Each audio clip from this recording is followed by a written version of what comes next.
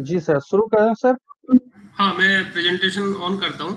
हाँ मैं एक बार ये कर देता हूँ हल्का फुल्का मॉडरेशन उसके बाद प्रेजेंटेशन अपना आरंभ करेंगे हाँ आप करके मुझे बताइए मैं शुरू कर जी जी जी सर। तो एक सेकंड से कैमरा ऑन करो। जी शुभ प्रभात सभी विद्यार्थियों को। स्वागत है आप लोगों का। पुनः एक बार उड़ीसा राज्य मुक्त विश्वविद्यालय की इस ऑनलाइन कक्षा श्रृंखला में। जहाँ आज हम लोग एक नए विषय के साथ जो आप लोगों के द्वितीय छमाही के विद्यार्थी हैं उनके सेमेस्टर के उनके पेपर एक है जो M S D zero six के ब्लॉक जो सेवन है जिसमें भारतीय आर्य भाषाएँ के ऊपर हम लोग चर्चा करेंगे।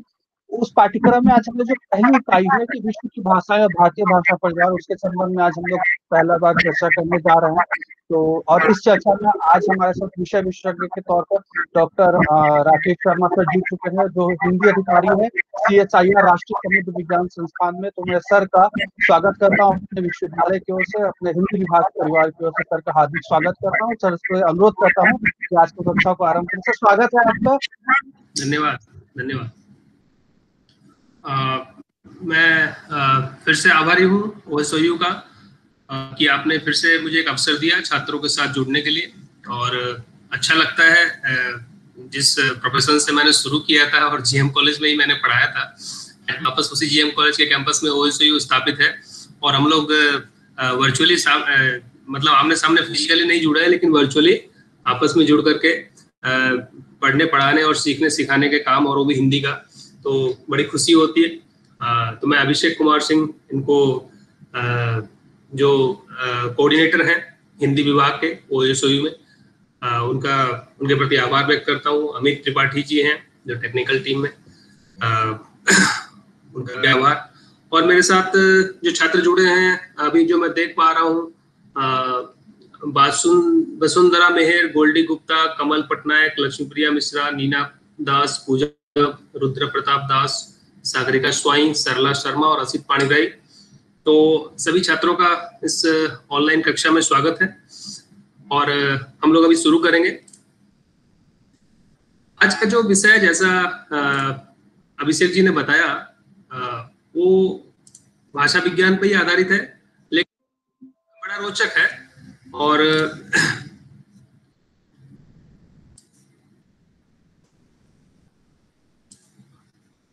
मैं बस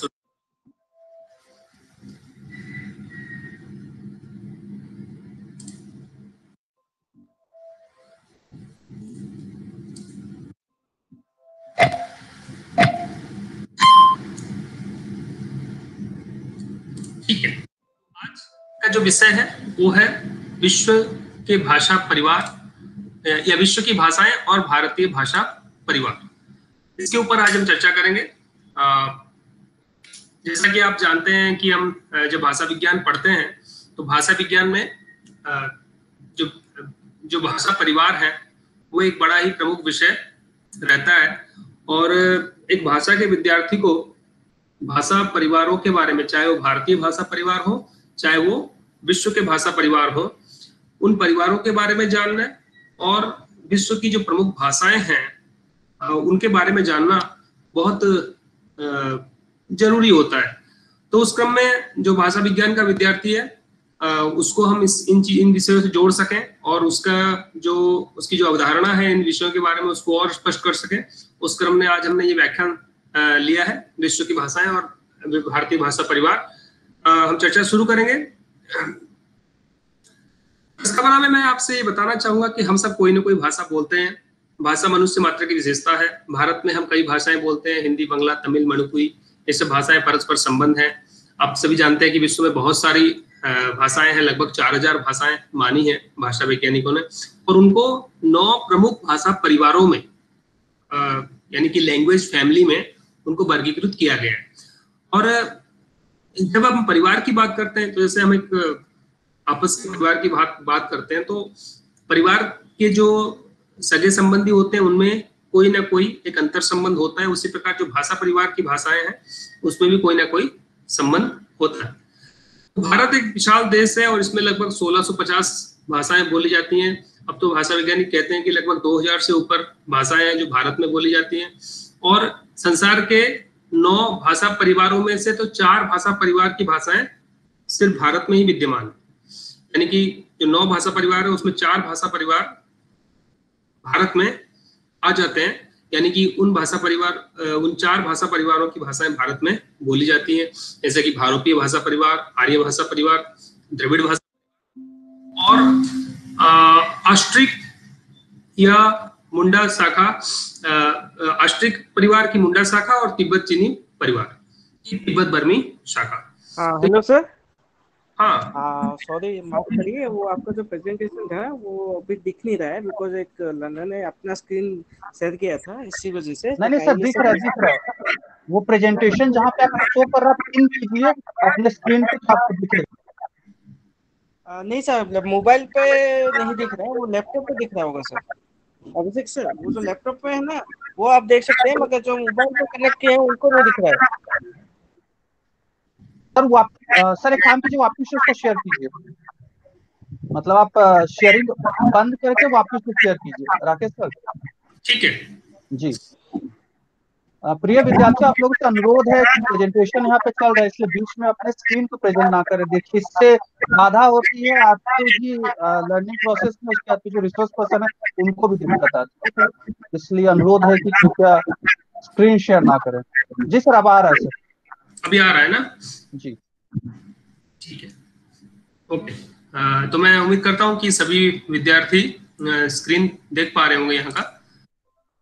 तो वापस से आते हैं विषय के ऊपर।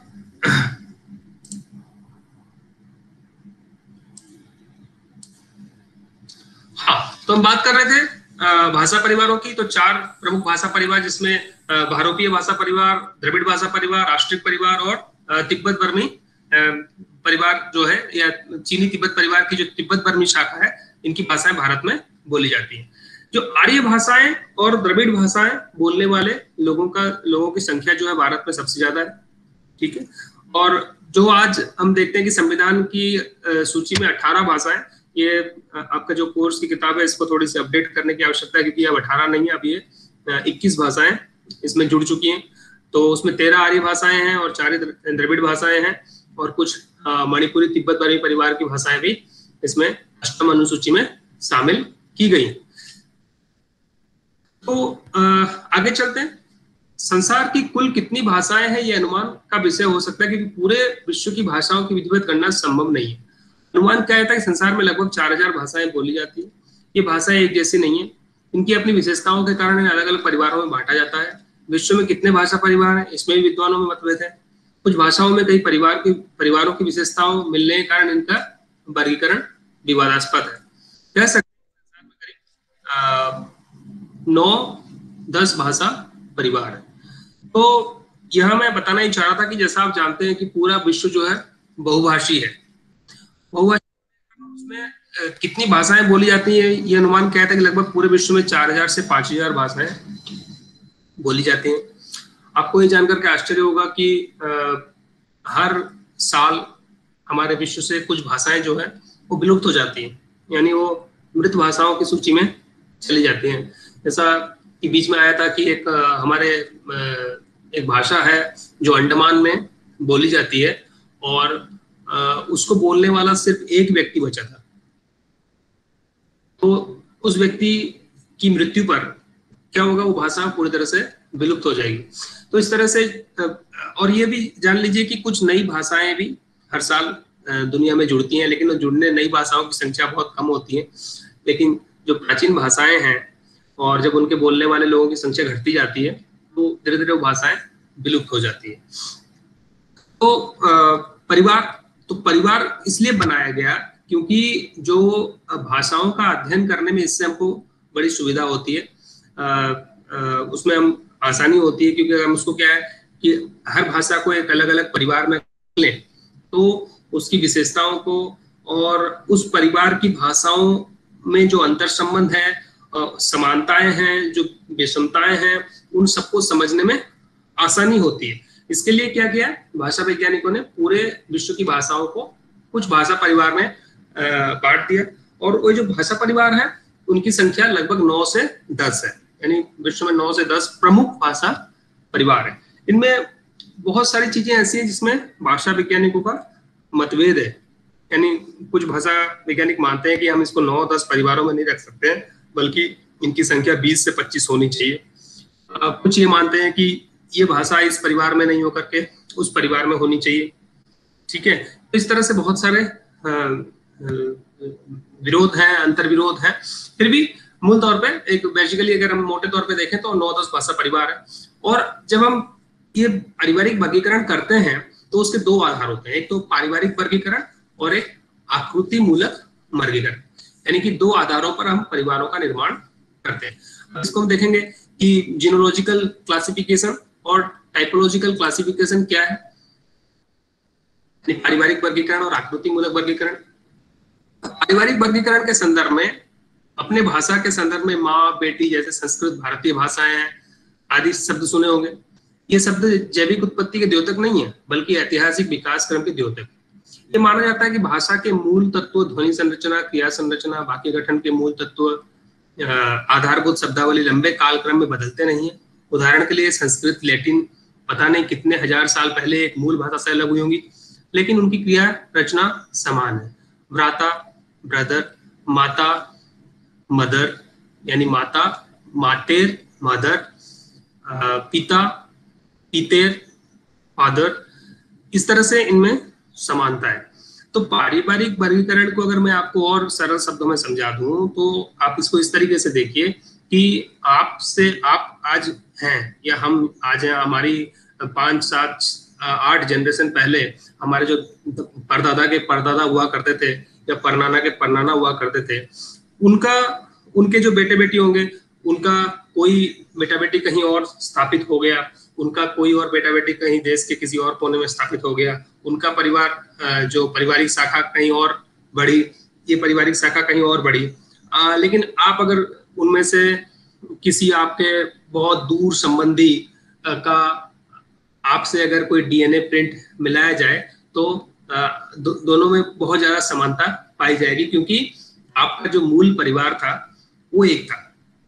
ठीक है? और उसमें अलग अलग पारिवारिक शाखाएँ अलग अलग दिशा में बढ़ बढ़ गई, लेकिन उन दोनों में आपस में समानता आप में पाई जाएगी। जैसे आपके कोई मौसी का लड़का या लड़की, उससे आपके चेहरे की कुछ समानता मिलती है।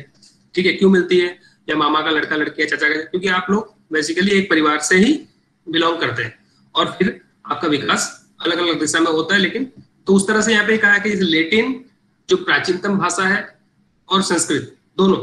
लेकिन कहा जाता है कि कहीं ना कहीं ये भी आपस में जुड़ी हुई थी और कई हज़ार साल पहले दोनों अलग अलग शाखाओं में बढ़ गई। संस्कृत अलग दिशा में चली आई, इसमें चली आई। लेकिन आज भी आप देखेंगे, जैसे फादर जो इंग्लिश वर्ड है, वो पितेर शब्द से बना है और पिता शब्द में इतनी कितनी समानता है। वैसे भ्राता और ब्रदर, माता मदर और मातेर, लेटिन का मातेर। तो ये समानता आप देखते हैं इसी के आधार पर ये वर्गीकरण किया गया है कि संस्कृत और उसकी भाषा और भारतीय भाषाएँ ये सब कहीं ना कहीं एक परिवार से ही जुड़ी हुई थी। इसलिए ये पारिवारिक वर्गीकरण के अंतर्गत आता है। दूसरा जो आकृति मूलक वर्गीकरण है, ये क्या है? भाषाओं को उनकी संरचना के आधार पर अलग अलग वर्गों में बांटा जाता है। संस्कृत भाषा संश्लिष्ट यानी संश्लिष्ट योगात्मक है, क्योंकि उसमें धातु, प्रत्यय, उपसर्ग आदि शब्दों की रचना होती है। इसके विपरीत चीनी भाषा अयोगात्मक है, क्योंकि चीनी भाषा में शब्दों का रूप नहीं बदलते।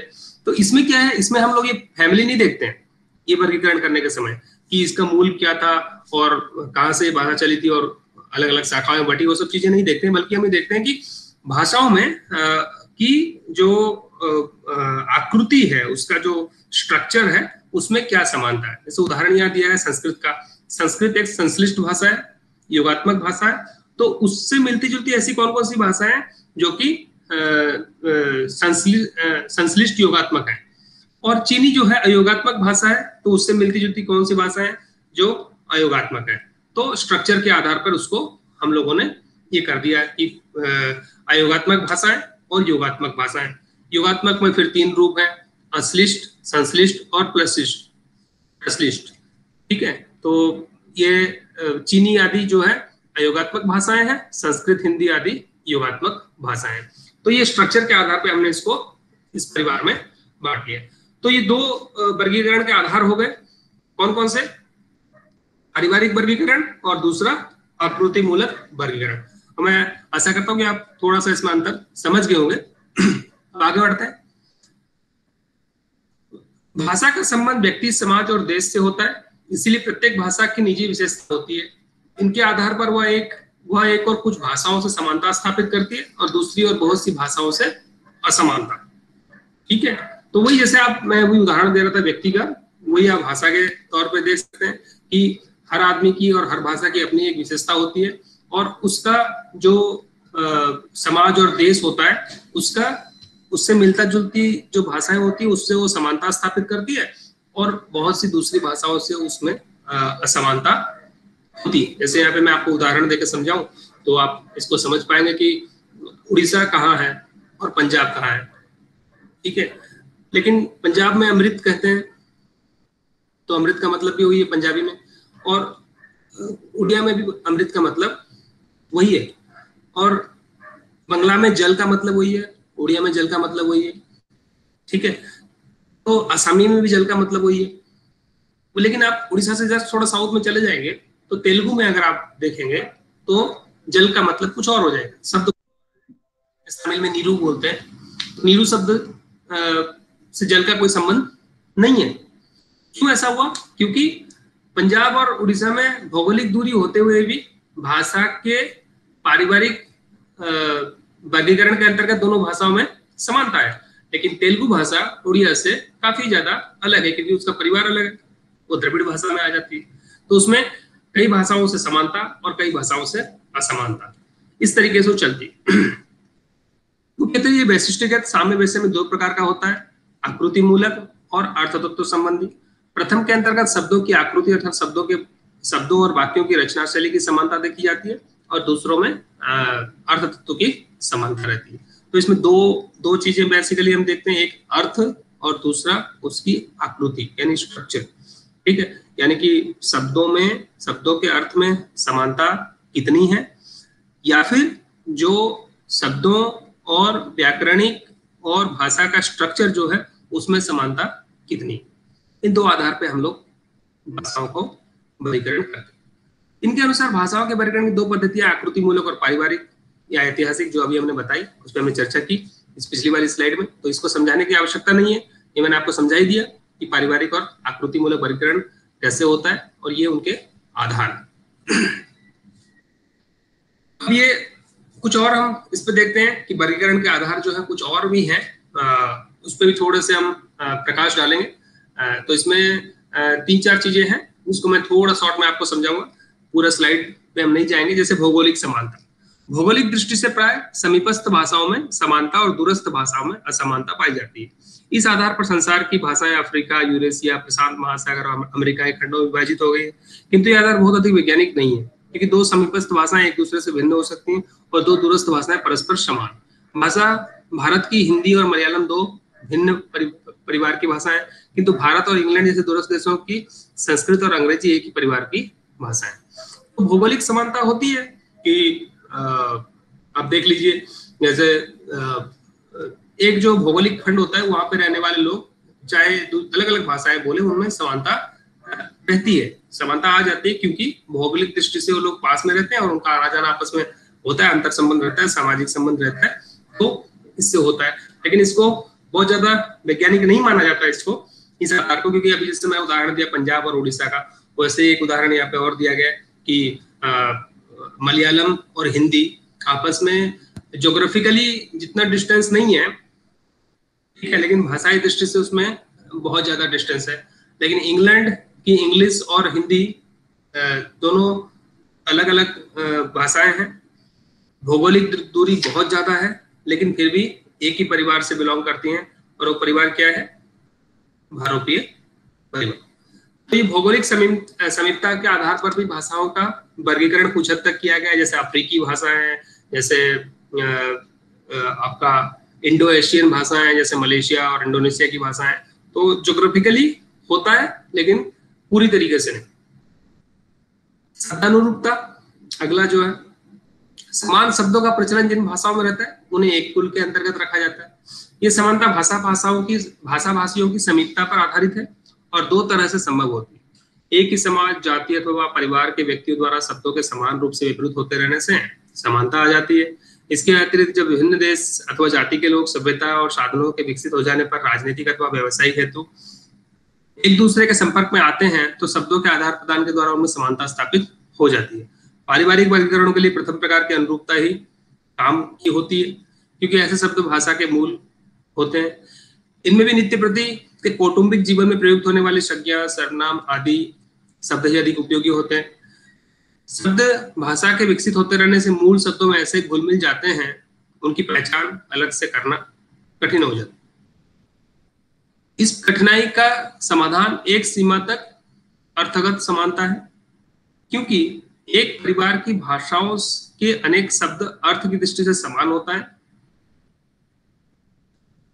और ऐसे शब्द उन्हें एक परिवार से संबंधित करते हैं। इसलिए अर्थपरक समानता भी एक महत्वपूर्ण आधार ये थोड़ा सा मैंने आपको बताया, मैं थोड़ा सा आपको उदाहरण देके बताऊँगा। ये शब्दानुरूपता क्यों है? क्योंकि जब हम परिवार बनाते हैं तो परिवार में बोले जाने वाले जो सब परिवार के अंतर्गत जो बोली जाने वाली भाषाएँ हैं और उनमें जो शब्द प्रचलित है, उनको देखा जाता है। ये शब्द कौन कौन से हैं और शब्दों के अर्थ क्या है? ठीक है? और उसके आधार पर उन दोनों की समानता और विषमता, इन दोनों की तुलना की जाए। ठीक है?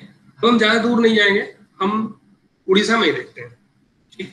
तो उड़ीसा में आप देखेंगे कि बेसिकली तीन बोलियाँ हैं। जो एक स्टैंडर्ड बोली, ओडिया है, वो कटक और उसके आसपास बोली जाती है कोस्टल उड़ीसा में।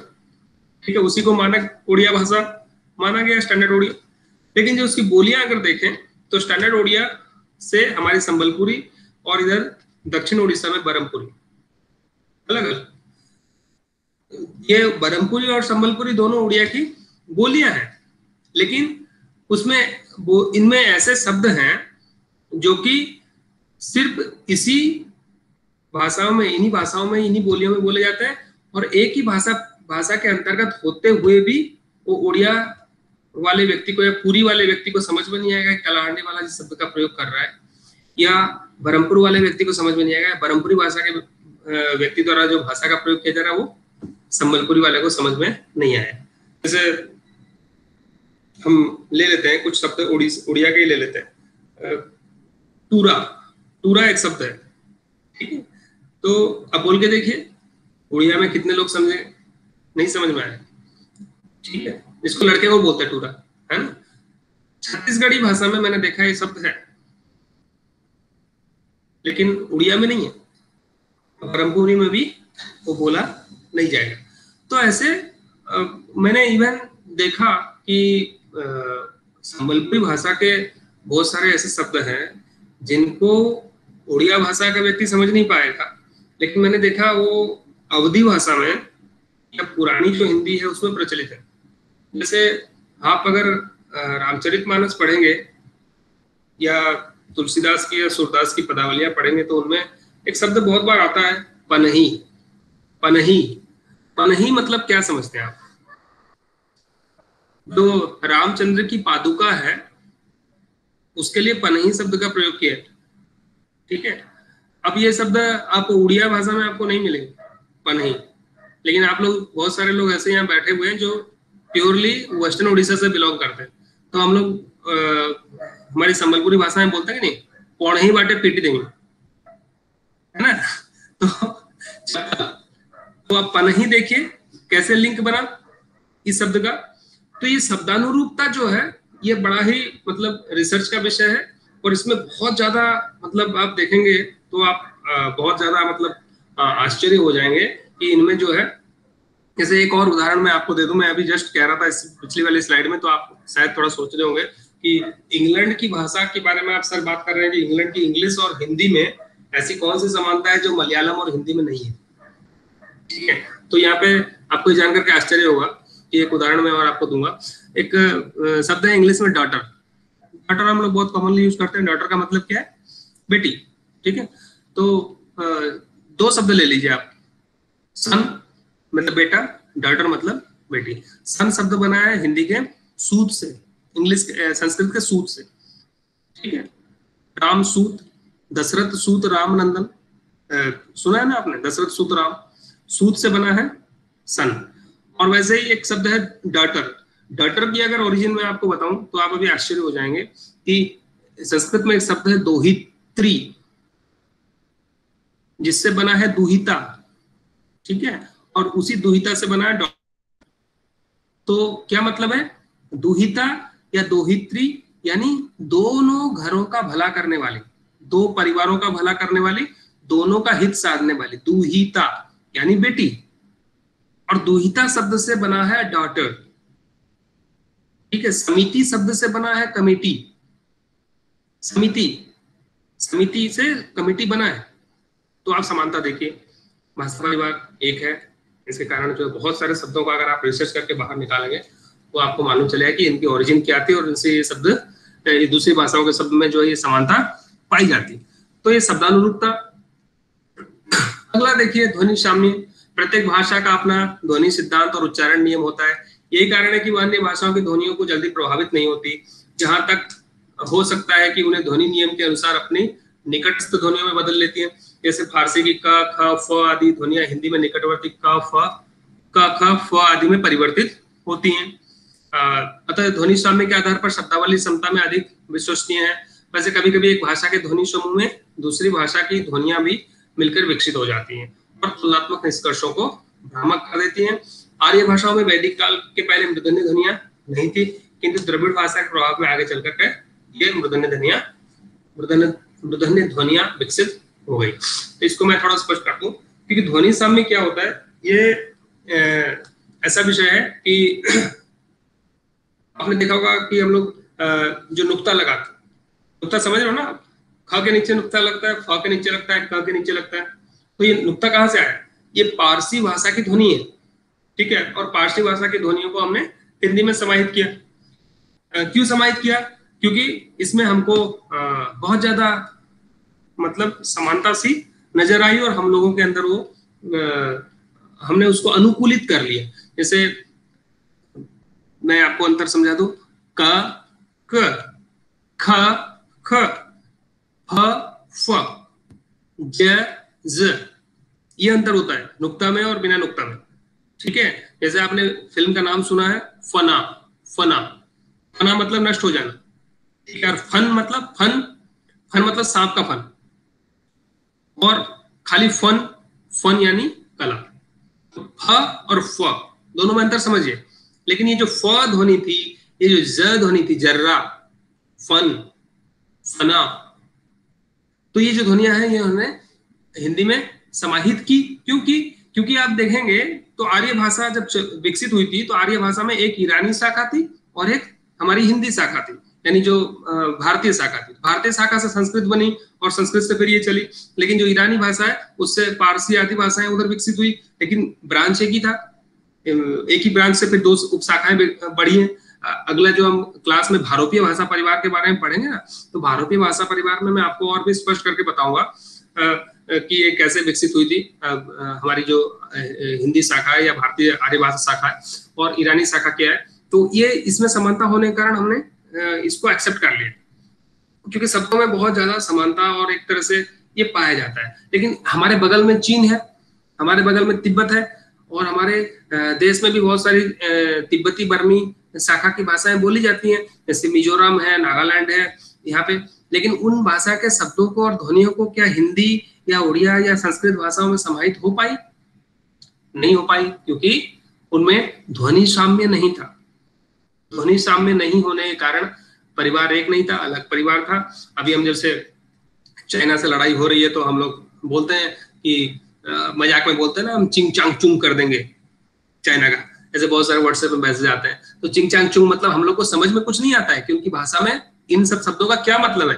लेकिन हमको ये बोलते हैं कि ये लोग ऐसे ही चिंग चांग चुंग करते रहते हैं।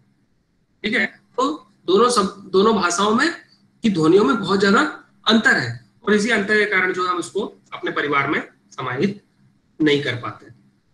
ठीक है? तो ये ध्वनि साम्य, फिर व्याकरण व्याकरणगत समानता तो व्याकरणिक समानता भी बहुत होती है। इसके सबसे अधिक प्रामाणिक होता है, क्योंकि भाषा अनुशासन करने के कारण जल्दी बदलता नहीं है।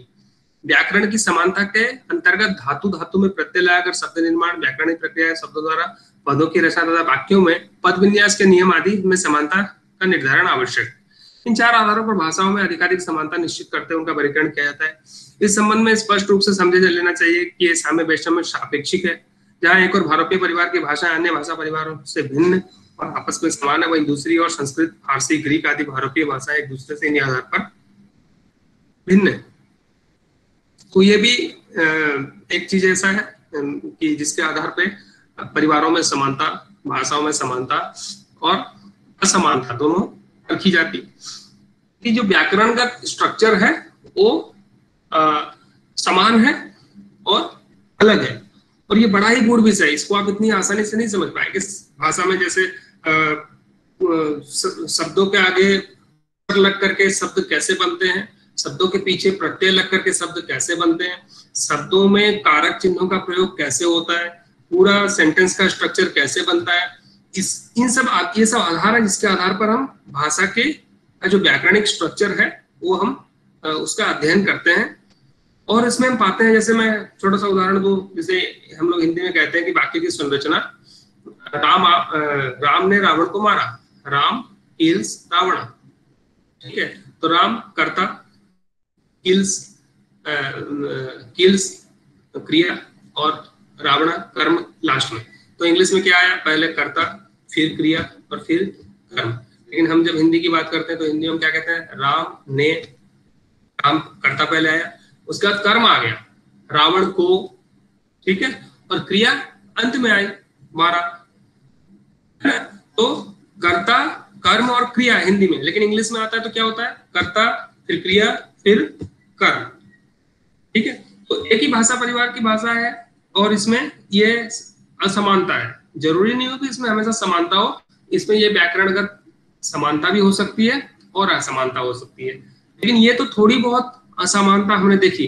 लेकिन अगर हम हिंदी की तुलना किसी सिमेटिक है, हिमेटिक भाषा परिवार की या तिब्बती बर्मी भाषा परिवार की किसी भाषा से करें तो आप देखेंगे कि उनका जो व्याकरणिक स्ट्रक्चर है, वो पूरी तरह से अलग है। उसमें कोई समानता नहीं है।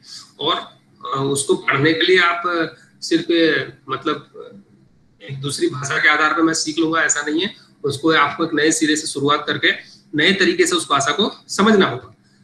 तो ये व्याकरणगत समानता है। इसके आधार पर भी हम भाषाओं का वर्गीकरण करते हैं।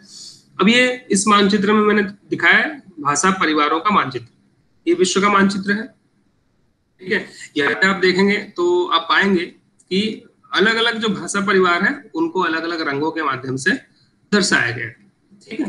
तो ये देखिए, ये हरा रंग बहुत ज़्यादा दिखाई दे रहा है इसमें। क्यों ज़्यादा दिखाई दे रहा है? क्योंकि हरा रंग जो है ये भारतीय भाषा परिवार है। ठीक है? ये भारतीय भाषा परिवार है। ये यहाँ पे नीचे लिखा हुआ है सॉरी हाँ। ये आपका, ये पूरा भारत, इधर पाकिस्तान, इधर अरब से लेकर के, अरब तो नहीं है, ये ईरान आदि देश है। और फिर यहाँ पे रसिया, ठीक है, ये रसिया आदि, और इधर पूरा यूरोप, इधर अमेरिका, क्योंकि यहाँ पे इंग्लिश है, और यहाँ पे ये दक्षिण अमेरिका, यहाँ पे स्पेनिश है, ठीक है। ये स्पेनिश, क्योंकि ये सारा एक ही भाषा और यहाँ पे इंग्लिश है, ऑस्ट्रेलिया में, यहाँ पे साउथ अफ्रीका में इंग्लिश है तो ये सारा भारतीय भाषा परिवार की भाषा है। और ये जो चाइनीज़ जो है जो हम लोग जिस चीनी चीनी भाषा परिवार की बात करते हैं आप देखिए, ये यहाँ से यहाँ तक फैला हुआ है। इसमें जापान, कोरिया आदि भी आ जाते हैं। और इस तरह से जो है यहाँ पे ये दिखाया है। तो ये बड़ा ये विषय है कि विश्व भाषा परिवारों का जो फैलाव है वो कैसा है। ये थोड़ा जस्ट आपको एक पिक्चर क्लियर हो जाए, इसलिए मैंने आपको दिखाया।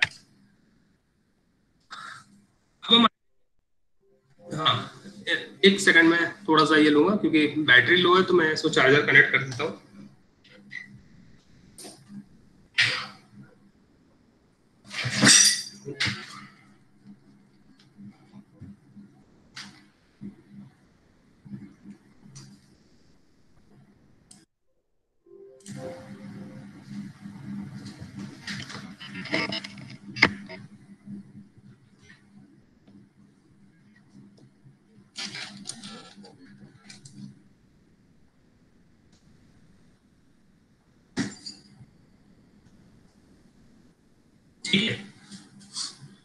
आप कनेक्टेड है ना अभिषेक? जी सर जी सर ठीक। हाँ तो वापस आते हैं। हम भाषा परिवारों की बात कर रहे थे तो इस मानचित्र के बाद मैं आपको ये दिखाने बताना चाहूँगा कि आपस में संबंधित भाषाओं को हम भाषा परिवार कहते हैं। कौन भाषाएँ किस परिवार में आती है इसके लिए वैज्ञानिक आधार बनाए गए। भाषाओं के पारिवारिक वर्गीकरण का अर्थ है विश्व की भाषाओं को परिवार में बांटना। जैसे मैंने शुरू में बताया था कि इससे क्या होता है अध्ययन की उसको स्टडी करने में थोड़ी सुविधा होती है। जैसे कि एक माता पिता से उत्पन्न व्यक्ति एक ही परिवार के कहे जाते हैं उसी प्रकार एक ही मूल भाषा से निकली भाषाएँ और बोलियाँ भी एक ही परिवार की कहलाती है। ठीक है? तो ये थोड़ा आ, मैंने और स्पष्ट किया आपको भाषा परिवार के वर्गीकरण का जो आधार है और इसकी जो परिभाषा है परिवार भाषा परिवार की वो इस प्रकार से अब हम देखेंगे कि किसी भाषा परिवार के निर्माण या उसकी संरचना के लिए दो बातों पर ध्यान दिया जाता है। एक भाषिक समानता और दूसरा जो है स्थानिक समानता। भाषिक समानता, ऐसे हमने पहले चर्चा की कि भाषाओं में क्या समानता है और स्थानिक समानता यानी ज्योग्राफिकली उनमें कितनी नजदीकी है, कितनी दूरी है। भाषिक समानता पाँच प्रकार की हो सकती है, ध्वनि की समानता, शब्द की यहाँ कोई मैसेज आ रहा है? प्रेजेंटेशन चालू है ना? जी सर प्रेजेंटेशन चालू है तो? ठीक। की समानता हाँ बोलिए।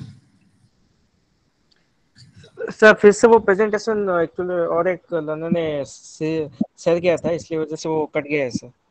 ठीक है मैं मैं ऑन कर देता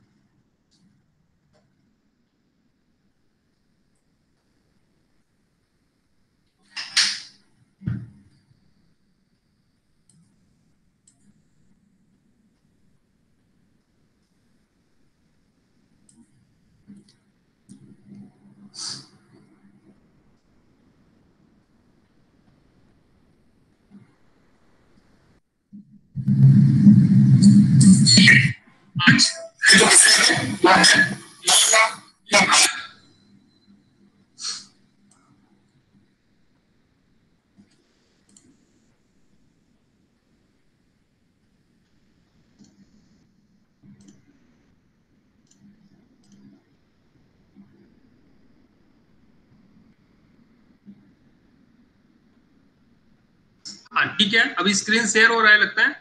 प्रेजेंटेशन जी सर जी सर शेयर हो रहा है। ओके ठीक।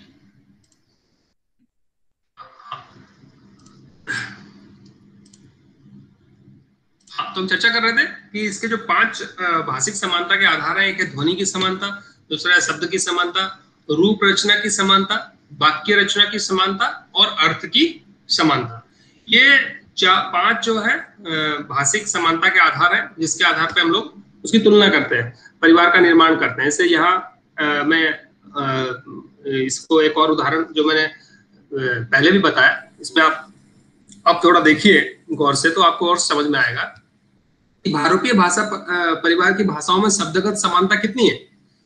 ठीक है? जो पहला जो दूसरा ये आधार है शब्द की समानता। ठीक है? ध्वनि की समानता में चर्चा की है। अब शब्द की समानता के कुछ उदाहरण देखते हैं। ये देखिए संस्कृत का शब्द है पितृ।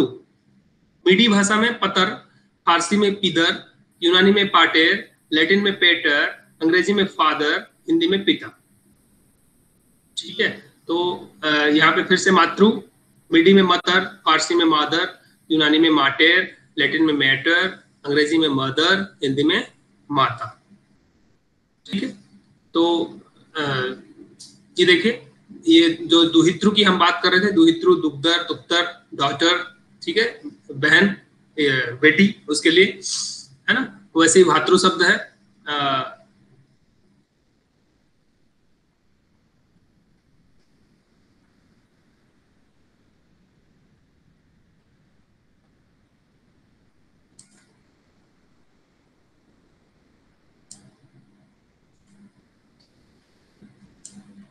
ठीक है तो ये देखिए शब्द में हज़ारों साल पुरानी भाषाएँ हैं। लेकिन उनमें कितनी ज़्यादा शब्दों में समानता है? क्योंकि परिवार इनकी, इनका एक ही है। हिंदी से लेकर संस्कृत और फारसी, यूनानी, लैटिन, अंग्रेज़ी, ये सारी जो परिवार है, ये भाषा परिवार एक ही है। अब हम इसको, जो विश्व की जो भाषाएँ हैं, उनके जो परिवार बने हुए हैं, और उनको हम लोग चार खंडों में बांटते हैं। पहला, और थोड़ी सी इसकी आसानी हो जाए, क्योंकि बहुत सारे नौ परिवार हैं, नौ, दस भाषा परिवार माने गए तो उसको हम चार खंडों में बांट दिया है। पहला खंड क्या है? अफ्रीका खंड, ठीक है? यानी अफ्रीकी, अफ्रीकन रीजन अफ्रीकी क्षेत्र। इसमें कौन कौन सी भाषाएँ आती है? बुशमैन, बांटू, सूडान और हेमेटिक, शेमेटिक। ये चार भाषा परिवार इसमें आ जाते हैं। किसमें? अफ्रीकी खंड में। और उसके बाद आता है यूरेशिया खंड, ठीक है? इसमें मुख्यतः कौन से भाषा परिवार आते हैं? यूरेशिया खंड में। यूरेशिया इन यूरोप और एशिया। इन दोनों को मिलाकर के ये रीजन बना है। इसमें हेमेटिक सेमेटिक उस भाषा परिवार की भाषाएँ इसमें भी आती हैं। इसमें अफ्रीकन में भी आती हैं और इसमें भी आती हैं। उसका काकेशियन, उसका यूरल अल्टाइक, फिर चीनी, द्रविड ऑस्ट्रो एशियाटिक जापानी कोरियाई, मलय, पोलिनेशियन और फिर भारोपीय। ठीक है? ये जो यूरो, यूरोसिया वाला खंड है, इसमें ये भाषा परिवार आ जाते हैं। और उसके बाद जो पैसिफिक रीजन है, जिसको हम प्रशांत महासागरीय खंड बोलते हैं, ये जो पैसिफिक वाला रीजन है इसमें। कौन कौन सी? मलय पोलिनेशियन परिवार है और कुछ लोग इसे कई परिवारों का समूह भी मानते हैं, मलय पोलिनेशियन और अंत में आता है अमरीकी खंड और इसमें अमरीकी परिवार, कुछ लोग इसके अंतर्गत सौ भाषाओं का परिवार मानते हैं। तो इस अमेरिका का जो खंड है, यानी नॉर्थ और साउथ अमेरिका इसमें ये परिवार आ जाता है और इस परिवार की भाषाएँ आ जाती हैं। तो ये हम देखा चार जो है, इसको हम खंड में बांट लेते हैं ताकि हमको अध्ययन करने में और आसानी हो, सुविधा हो। नए शोधों के अनुसार अभी विश्व में लगभग एक छोटे बड़े भाषा परिवार हैं। ठीक है? अभी जो हमने उसको थोड़े से अध्ययन की सुविधा की दृष्टि से हम कहते हैं कि जो मुख्य तौर पे नौ या दस बड़े भाषा परिवार हैं, लेकिन अगर पूरे छोटे बड़े सभी भाषा परिवारों को गिनती करें तो लगभग एक छोटे भाषा परिवार विश्व में पाए जाते हैं। इनमें से 25 भाषा परिवारों को प्रमुख भाषा परिवार के रूप में चिन्हित किया गया है। इन 25 भाषा परिवारों में 6,523 भाषाएँ लगभग पिचानवे परसेंट भाषाएँ समाहित हो जाती हैं। तिरपन भाषाएँ ऐसी हैं जिन्हें किसी भी भाषा परिवार के तहत वर्गीकृत नहीं किया जा सकता। ठीक है? कुछ लोग ऐसे आवारा भी होते हैं ना जिनको कोई परिवार में हम लोग शामिल नहीं कर पाते तो कुछ भाषाएँ ऐसी हैं जिनको अभी किसी खास परिवार, भाषा परिवार में रखी नहीं गई है। लेकिन ये जो 25 भाषा परिवार है, और इस 25 में से भी जो खास नौ दस है, ठीक है, जिन नौ दस की हम चर्चा करेंगे, उसमें ही ये लगभग नब्बे से पिचानवे प्रतिशत भाषाएँ जो है, इसमें आ जाती है। तो ये एक थोड़ा सा पाई चार्ट मैंने दिखाया। इस पाई चार्ट से आप और थोड़ा समझ में आपको आएगा कि जो विभाजन है और उसका जो फैलाव है, विस्तार है, भाषाओं का वो कैसे है। तो सबसे बड़ा ये आप देख रहे हैं ग्रीन कलर में। ये कौन सा है? ये इंडो यूरोपियन है। ठीक है? यानी विश्व की लगभग 45 प्रतिशत भाषाएँ इसमें आ जाती हैं इंडो यूरोपियन में। ठीक है? बड़ा है, बहुत बड़ा हिस्सा ये ले रहा है। उसके बाद सीनो तिब्बतियन जो हम चीनी और तिब्बत वाला जो परिवार है, क्योंकि इसमें मंदारिन भाषा है, जो कि लगभग 130 करोड़ 140 करोड़ लोग उसको बोलने वाले हैं तो इसलिए ये बड़ा हिस्सा ये ले लेता है सीनो टिबेटियन और उसका अल्टाइक परसेंट आ गया। फिर इसको नाइजर कॉन्गो का एक है, ये छह परसेंट फिर एफ्रो एशियाटिक जो हम बात कर रहे हैं एफ्रो एशियाटिक की सेमेटिक हेमेटिक वाला, वो पीले रंग में दिखाया, वो भी पाँच परसेंट है, ठीक है? फिर ऑस्ट्रो एशियन वो भी पिंक कलर में है, ये भी पाँच परसेंट है। उसके बाद द्रविडियन जो भाषा परिवार है, वो चार प्रतिशत हिस्सा ले रहा है, ये हरे रंग में। द्रविडियन जो हमारे भारत की भाषा परिवार है, ठीक है? और उसके बाद छोटा सा जो हिस्सा ऑस्ट्रो एशियाटिक का है, और उसके बाद ढाई का, ढाई करके कुछ है, ये एक, दो, ढाई परसेंट ऐसे ये हिस्से इनको मिले हुए तो आप देखेंगे तो पाएँगे कि ये जो हमारा जो भारतीय भाषा परिवार है, और ये जो चीनी भाषा परिवार है, ये ही विश्व के प्रमुख भाषा परिवार मतलब प्रमुख भाषाएँ इसमें आ जाती हैं, ज़्यादा से बोलने वाले लोग। और उसके बाद का जो हिस्सा है, वो दूसरे दूसरे भाषा परिवारों में बटा हुआ है। भारत यूरोपीय भाषा परिवार इंडो यूरोपियन फैमिली। अब हम इस पर बहुत डिटेल्स पे नहीं जाएँगे, लेकिन एक छोटी छोटी झलक हम लोग देखेंगे। ये जो प्रमुख भाषा परिवार है, इनकी, ताकि हम थोड़ा सा इसको क्लियर करें। फिर अगली जो क्लास है, उसमें हम लोग, जैसे कि पूरा इंडो यूरोपियन भाषा परिवार पढ़ने के लिए हमको पूरी एक क्लास चाहिए। ठीक है? हम उसको स्पष्ट कर पाएँगे पूरा उसका जो पूरा स्वरूप है इस परिवार का। अभी हम एक थोड़ा सा इस पे प्रकाश डालेंगे बस, और आगे बढ़ेंगे। इसमें कौन कौन सी भाषाएँ आ जाती हैं? इसमें जो विश्व की प्रमुख भाषाएँ जैसे इंग्लिश, रशियन, प्राचीन फारसी, हिंदी, पंजाबी, जर्मन, नेपाली, ये सारी जो भाषाएँ हैं, ये इसमें आ जाती हैं। और ये बहुत बड़ा भाषा परिवार है और बहुत फैला हुआ है। इसका विस्तार यहाँ आप देखेंगे तो भारत से लेकर के यूरोप और उधर अमेरिका और ऑस्ट्रेलिया तक और न्यूजीलैंड तक ये फैला हुआ है। बहुत ही विस्तृत और बड़ा भाषा परिवार है। और जैसा यहाँ मैंने दिखाया, पैंतालीस परसेंट भाषाएँ जो है इसमें आ जाती हैं। संस्कृत, ग्रीक, लातिनी ये जो क्लासिकल लैंग्वेजेस हैं, जो पुरानी भाषाएँ हैं, वो उनका संबंध भी इन्हीं, इसी भाषा परिवार से है। लेकिन अरबी एक बिल्कुल विभिन्न परिवार से संबंध रखती है। इस परिवार की प्राचीन भाषाएँ बहिर्मुखी, श्लिष्ट, योगात्मक है। ठीक है, बहिर्मुखी श्लिष्ट योगात्मक, हमने पहले स्लाइड में शुरुआत में दिखाया था ना श्लिष्ट योगात्मक अश्लिष्ट योगात्मक, ठीक है? तो वो तो थोड़ा सा टेक्निकल चीज़ें हैं, उसको हम आगे कहीं स्पष्ट करेंगे कि होता क्या है। तो ये इसकी विशेषता है। इसको पहले इंडो इसको आर्यन फैमिली भी कहा जाता था। लेकिन बाद में इसका नाम बदल के इसको इंडो यूरोपियन लैंग्वेज फैमिली कर दिया गया। अब उसके बाद आ गया जो सीनो तिब्बतियन सीनो तिब्बतियन को हम लोग हिंदी में बोलते हैं चीनी तिब्बती भाषा परिवार। विश्व की जनसंख्या के अनुसार सबसे बड़ा भाषा परिवार, भाषा जो सबसे ज़्यादा बोले जाने वाली भाषा मंदारिन है, यानी चीनी भाषा, वो इसमें आ जाती है। और चीन और तिब्बत में बोले जाने वाली कई भाषाओं के अलावा बर्मी भाषा भी इस परिवार की है। बर्मी जो हमारे पड़ोसी देश है है ना, बर्मा, वहाँ की जो भाषा है, वो भी इसके अंतर्गत आ जाती है। इनकी स्वर लहरी एक ही है। एक ही शब्द अगर ऊँचे या नीचे स्वर में बोला जाए तो शब्द का अर्थ बदल जाता है। अब ये देखिए इसमें आप जैसे जैसे अलग अलग भाषा परिवार की अलग अलग भाषाओं को देखेंगे और उनकी आप विशेषताओं को जानेंगे क्योंकि अभी हम लोग क्या हिंदी जानते हैं उड़िया जानते हैं और दूसरी भाषाओं के बारे में ज़्यादा कुछ जानते नहीं इंग्लिश जानते हैं। तो उनकी जो विशेषताओं देखेंगे तो हम आ, मतलब बड़ा चौंक जाएँगे कि देखिए इसमें क्या है एक ही शब्द है और अगर इसको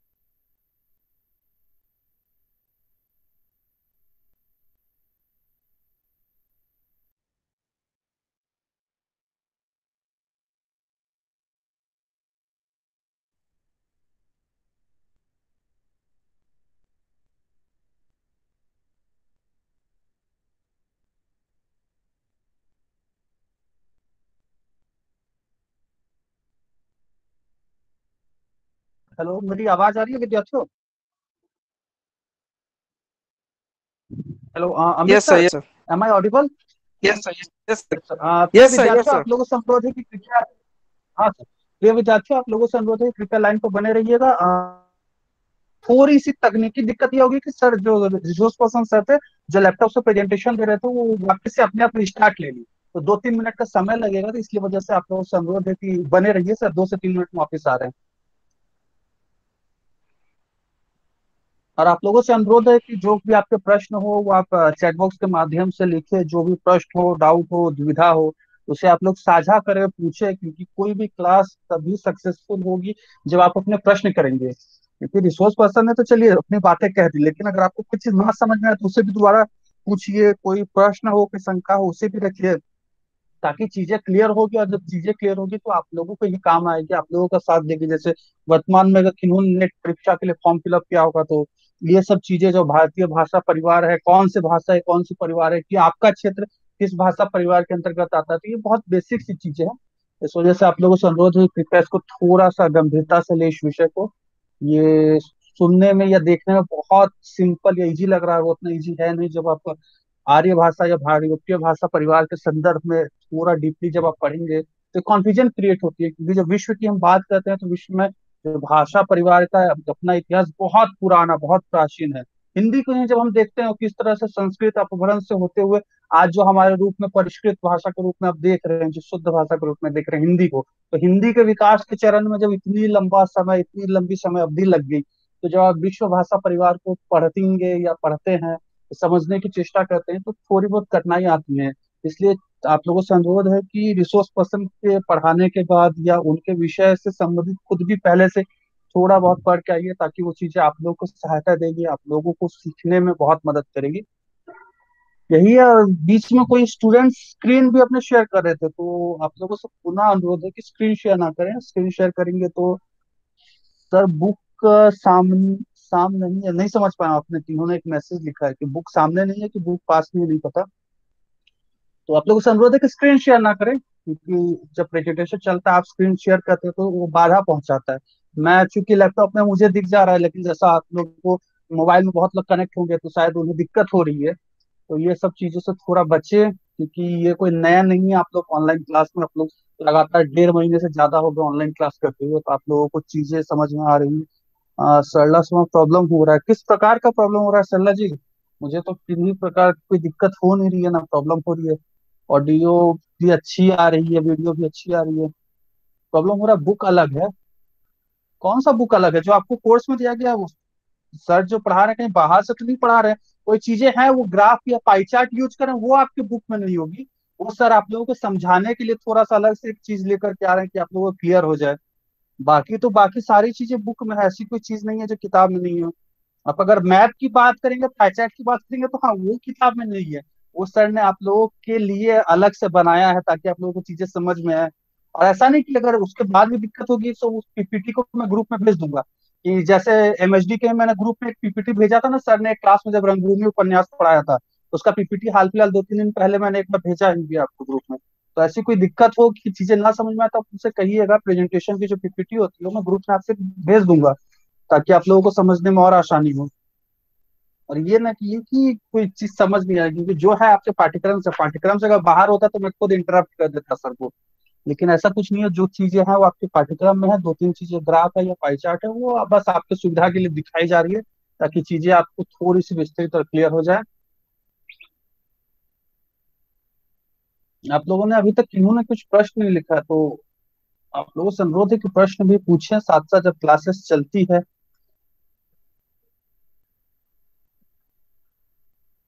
बहुत ने धन्यवाद लिखा है चीज़ें समझ में आ गई। फिर एक ने सुकन्या मोहनता प्रेजेंट कर रहे हैं। स्क्रीन को प्रेजेंट ना करें बार बार मैं कह रहा हूँ। जहाँ शेयर स्क्रीन या स्क्रीन शेयर करके कुछ भी ऑप्शन है, उसे टच ही ना करें। सीधा ज्वाइन का आपका मोबाइल से आते हैं, आप लोग को ज्वाइन नाउ का ऑप्शन आता है। उस पर क्लिक कीजिए। ऑडियो वीडियो को अपने बंद कीजिए। आपको ऑडियो तो बंद रखिए वीडियो को ऑन रखने का मैंने ऑन रखिए ऑफ़ रखने का मैंने ऑफ़ रखिए। स्क्रीन शेयर ना कीजिए, इससे बहुत दिक्कत होती है, दुविधा होती है। बहुत सारे लोग जो मोबाइल से आए होंगे, उनको सर पेपर हार्ड है। पेपर हार्ड नहीं है, आप बस पढ़िए, इतना इजी लगेगा। ऐसे तो कोई कहानी नाटक तो है नहीं कि किन्होंने कह दिया और हमारे मानस में, हमारे मस्तिष्क वो चीज़ छप गई। अच्छा ये गवन कहानी ये है, उसके पात्र ये है, उसका पूरा ये है। तो वो तो अलग चीज़ है। ये थोड़ा सा एक विषय खुद भी पढ़ने के लिए रहता है ना। अगर सब चीज़ इतनी आसानी से समझ में आ जाए तो दिक्कत क्या होगी? हर किसी को हर कुछ समझ में आएगा मेहनत ही नहीं करनी पड़ेगी अगर आपको सब चीज़ ऐसे बैठे बैठाए समझ में आ जाए। तो थोड़ा मेहनत कीजिए, चीज़ों को पढ़िए, तब ना समझ में आएगा। और ये बहुत रोचक विषय है, क्योंकि मैं भी आप लोगों की तरह, मैं भी कोई ज़्यादा मुझे समय नहीं हुआ, मैं भी हिंदी का विद्यार्थी हूँ। जब मैं भी भाषा विज्ञान हो गया या काव्य शास्त्र भारतीय पाश्चात्य काव्य शास्त्र की जब हम चर्चा करते हैं तो थोड़ा सा टफ लगता है, क्लिष्ट लगता है। लेकिन जब आप इसमें जाएँगे, इसमें भाषा विज्ञान होती है, मेरा सबसे फेवरेट पेपर रहा है, भारतीय भाषा परिवार। कि आपकी, दूसरी तो छोड़े, आपकी ओडिया किस भाषा परिवार में आती है, वो पहले आप देखिए, वो पढ़िए, आपको कहीं बाहर जाने की ज़रूरत नहीं है इसी किताब को आप पढ़ेंगे, आपको पता चल जाएगा। आपके आसपास की बहुत सारी भाषाएँ की उत्पत्ति कैसे हुई, ये आपको पता नहीं होगा। आप उस भाषा को लगातार बोल रहे हैं। तो ये सब तो एक रोचक चीज़ है कि आपको पता नहीं, वो चीज़ें आप पता करेंगे। आप जो भाषा को बोल रही है, जिसमें आप रोज़मर्रा के अपने कार्य कर रही है, वो भाषा भी किसी न किसी परिवार से निकल के आया है। उसके बारे में पढ़िए, उसके बारे में जानिए। तो कोई ऐसा बोरिंग सा सब्जेक्ट नहीं है कि हार्ड नहीं है जिसमें आपको रटना हो, जैसे पाश्चात्य काव्य शास्त्र वगैरह में तो भाषा परिवार क्या है, सर? और अच्छे से समझाएँ। एक सेकंड में आपको मैसेज पूरा नहीं देख पा रहा हूँ चैट बॉक्स खोलूं। भाषा परिवार क्या है, सर? और अच्छे से समझाइए। अच्छा भाषा परिवार क्या है? चलिए, और अच्छे से मैं ऐसा जब तक नहीं आए हैं, तब तक मैं आपको बहुत इजी और सिंपल वे में समझा देता हूँ। भाषा परिवार को आप इस तरह से समझिए कि आपका एक परिवार है, आप छोटा सा आप जॉइंट फैमिली में रहते हैं। हर कोई भाषा बोलता है, हर कोई, आप लोग अगर उड़िया होंगे तो उड़िया घर में बोलते होंगे, लेकिन अब उड़िया बोलने में भी कुछ चीज़ें आपको एक देखने को ऑब्ज़र्व कीजिएगा कभी। कई लोग होंगे वो साहित्यिक प्रकार की, थोड़ी सी बेहतर उड़िया बोलते होंगे, संप्रेषण उनका अच्छा होगा। कई लोग होंगे उड़िया वही उड़िया वही बोलते हैं, लेकिन उनकी संप्रेषण कौशल उतनी अच्छी नहीं होगी। की साहित्यिक उड़िया अच्छी होगी? जब हम बात करते हैं उड़िया भाषा की तो दो प्रकार की होती है। साहित्य में जब हम प्रयोग करते हैं तो थोड़ी सी अच्छी भाषा थोड़ी सी मानक भाषा के रूप में प्रयोग करते हैं। व्याकरण उसकी अच्छी होती है, शुद्धता के साथ प्रयोग करते हैं। लेकिन जब हम बोलचाल के रूप में प्रयोग करते हैं, जैसे मैं ही अभी कह रहा हूँ, आप लोगों से संप्रेषण करना है तो मैं हिंदी थोड़ी बेहतर कह रहा हूँ। लेकिन यही जब आप और हम जब बोलचाल में, जब मैं अपने दोस्तों से मिलूँगा, तब मैं यही लहजा या यही शुद्धता नहीं रखूँगा भाषा में। थोड़ा सा परिवर्तन होगा।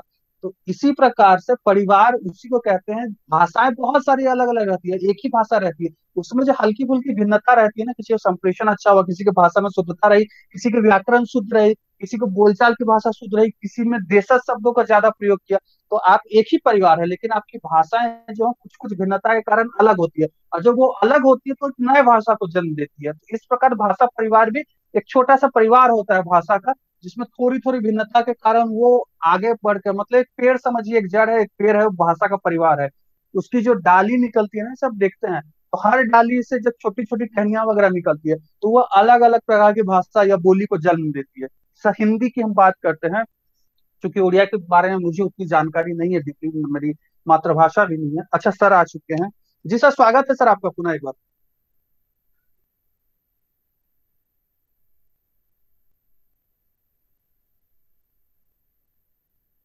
सर आपकी माइक म्यूट है राकेश सर।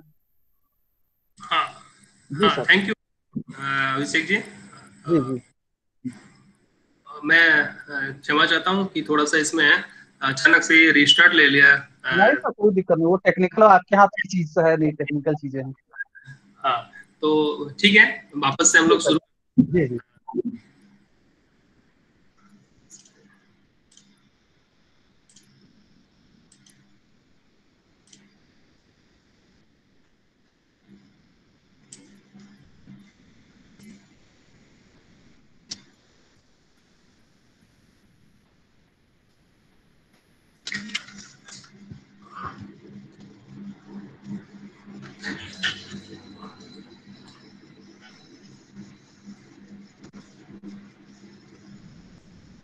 तो ये स्क्रीन शेयर हो पा रही है ना? जी सर स्क्रीन शेयर हो हाँ सर हाँ सर। ठीक है। हाँ, तो फिर से हम लोग शुरू करते हैं। जैसा मैंने आपको इंडो यूरोपियन जो भाषा परिवार है यानी कि भारत यूरोपीय भाषा परिवार उसके बारे में आपको बताया। और फिर हम लोग बात कर रहे थे चीनी तिब्बती भाषा परिवार के बारे में जिसको अंग्रेज़ी में हम the Sino Tibetan language family कहते हैं। तो ये uh, विश्व में जनसंख्या के अनुसार सबसे बड़ी भाषा यानी मंदारिन जो है भाषा इससे संबंधित है। और चीन और तिब्बत में बोली जाने वाली कई भाषाएँ और जो बर्मी भाषा है ये सब इसके अंतर्गत है। और इसकी एक विशेषता मैं आपको ये बता रहा था कि इसमें जो है जो टोन है या उच्चारण का जो जो लहजा है उस पर बड़ा अंतर पड़ता है। जैसे एक ही शब्द अगर ऊँचे या नीचे स्वर में बोला जाए तो उनका अर्थ बदल जाता है यानी ऊँचे टोन में अगर बोले तो उसका अर्थ कुछ और है, और अगर लोअर टोन में बोला जाए तो उसका अर्थ बदल जाता है। तो स्वरों का उच्चारण शब्दों का उच्चारण, ये भी इसमें बड़ा महत्व रखता है। इस भाषा परिवार को नाग भाषा परिवार, प्राचीन काल में जो हमारी जो प्राचीन हमारे ग्रंथ हैं पुराण आदि में, इसको नाग भाषा परिवार कहा गया है, और इसे एकाक्षर परिवार भी हम लोग कहते हैं, क्योंकि इसके मूल शब्द प्राय एकाक्षर होते हैं। एक अक्षर के शब्द होते हैं। इसीलिए इसे एकाक्षरी परिवार भी कहा गया है। ये भाषाएँ कश्मीर, हिमाचल प्रदेश, उत्तरांचल, नेपाल, सिक्किम, पश्चिम बंगाल, भूटान, अरुणाचल प्रदेश, आसाम, नागालैंड मेघालय, मणिपुर, त्रिपुरा और मिजोरम आदि राज्यों में या इन क्षेत्रों में बोली जाती है।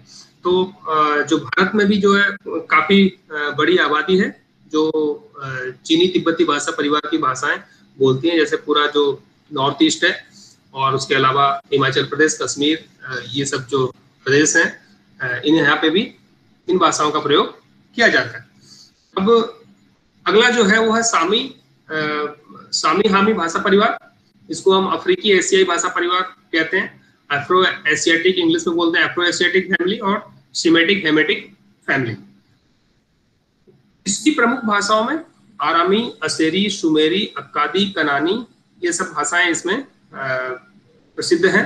और आज की डेट में जो भाषाएँ हैं, इसमें अरबी और इब्रानी, ये दो भाषाएँ जो है, इस भाषा परिवार की प्रमुख भाषाएँ मानी जाती हैं। ये जो सामी हामी भाषा परिवार है, इसका दो वर्ग में इसको बांटा गया एक पूर्वी सामी और एक पश्चिमी सामी। ठीक है? पूर्वी सामी में अकादीय भाषा, यानी बेबीलोन आदि की भाषाएँ आ जाती हैं, और पश्चिमी सामी में कनानीय भाषा इब्रू और अरबी भाषा ये आ जाती है। तो प्रांत के आधार पर या भौगोलिक दृष्टिकोण के आधार पर इसको पूर्वी शामी और पश्चिमी शामी में रखा गया। और इसमें जो मुख्य भाषाएँ हैं, वो उसमें इजिप्शियन, बर्बर, कुशीति, साद, शामी, ये सब भाषाएँ जो है, भी इसके अंतर्गत आ जाती है। तो आज की डेट में हम जो देखें तो उत्तर अफ्रीकी, उत्तर अफ्रीका का जो क्षेत्र है और जो मिडिल ईस्ट जिसे मध्य पूर्व कहते हैं जिसमें आपका अरब पूरा अरब का क्षेत्र और साथ में उत्तर अफ्रीकी का क्षेत्र और कुछ हिस्सा थोड़ा बहुत दक्षिण यूरोप का लगता हुआ वहाँ पे इस भाषा का प्रचलन रहा है। तो ये भी एक प्राचीनतम भाषा परिवार रहा है विश्व में। और उसके बाद आता है द्रविडियन भाषा परिवार, जो कि इसकी जो इसके जो फैलाव है वो मूल तौर पे भारत में ही है। भारत में जो चार भाषाएँ हैं, कौन सी? तमिल, तेलुगु, मलयालम और कन्नड़। और ये जो चार प्रमुख भाषाएँ हैं, ये बोली जाती हैं। दक्षिण भारत और श्रीलंका तक इसका विस्तार है। इसमें छब्बीस प्रमुख भाषाएँ हैं।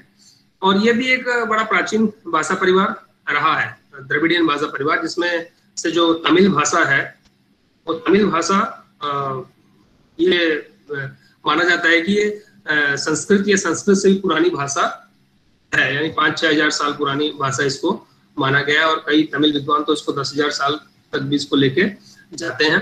तो ये जो द्रविड़ भाषा परिवार है, इसका जो शब्द है इसकी जो शब्द संपदा है और इसका जो भाषाई स्ट्रक्चर है, संरचना है, ये आर्य भाषा परिवार से मेल नहीं खाता है और बहुत ज़्यादा ये अलग है। ठीक है? तो ये द्रविडियन फैमिली और उसके बाद एक और प्रमुख भाषा परिवार है इसके बारे में आप भी थोड़ा सा गूगल कीजिए और इसको देखिए कि ये इसका जोग्राफिकल रीजन है कौन सा है।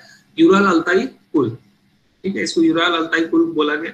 इसके अन्य नाम है तुरानी सीडियन फोनी तातारी तुर्क मंगोल मंचू आदि भी नाम है इस भाषा परिवार के। इसका क्षेत्र बहुत विस्तृत है, किंतु मुख्यतः साइबेरिया, मंचूरिया, मंगोलिया में फैला हुआ यानी पूर्वी रूस और रशिया और चाइना के बीच का जो प्रदेश है, मंगोलिया, ठीक है, मंचूरिया इनकी प्रमुख भाषाएँ तुर्की या तातारी, किर्गिज, मंगोली और मंचू, जिनमें से सबसे प्रमुख है तुर्की भाषा। साहित्यिक भाषा उस्मानली है, तुर्की पर अरबी और फारसी का बहुत अधिक प्रभाव था, किंतु आजकल इसका शब्द समूह बहुत कुछ अपना, खुद का है, तुर्की भाषा का।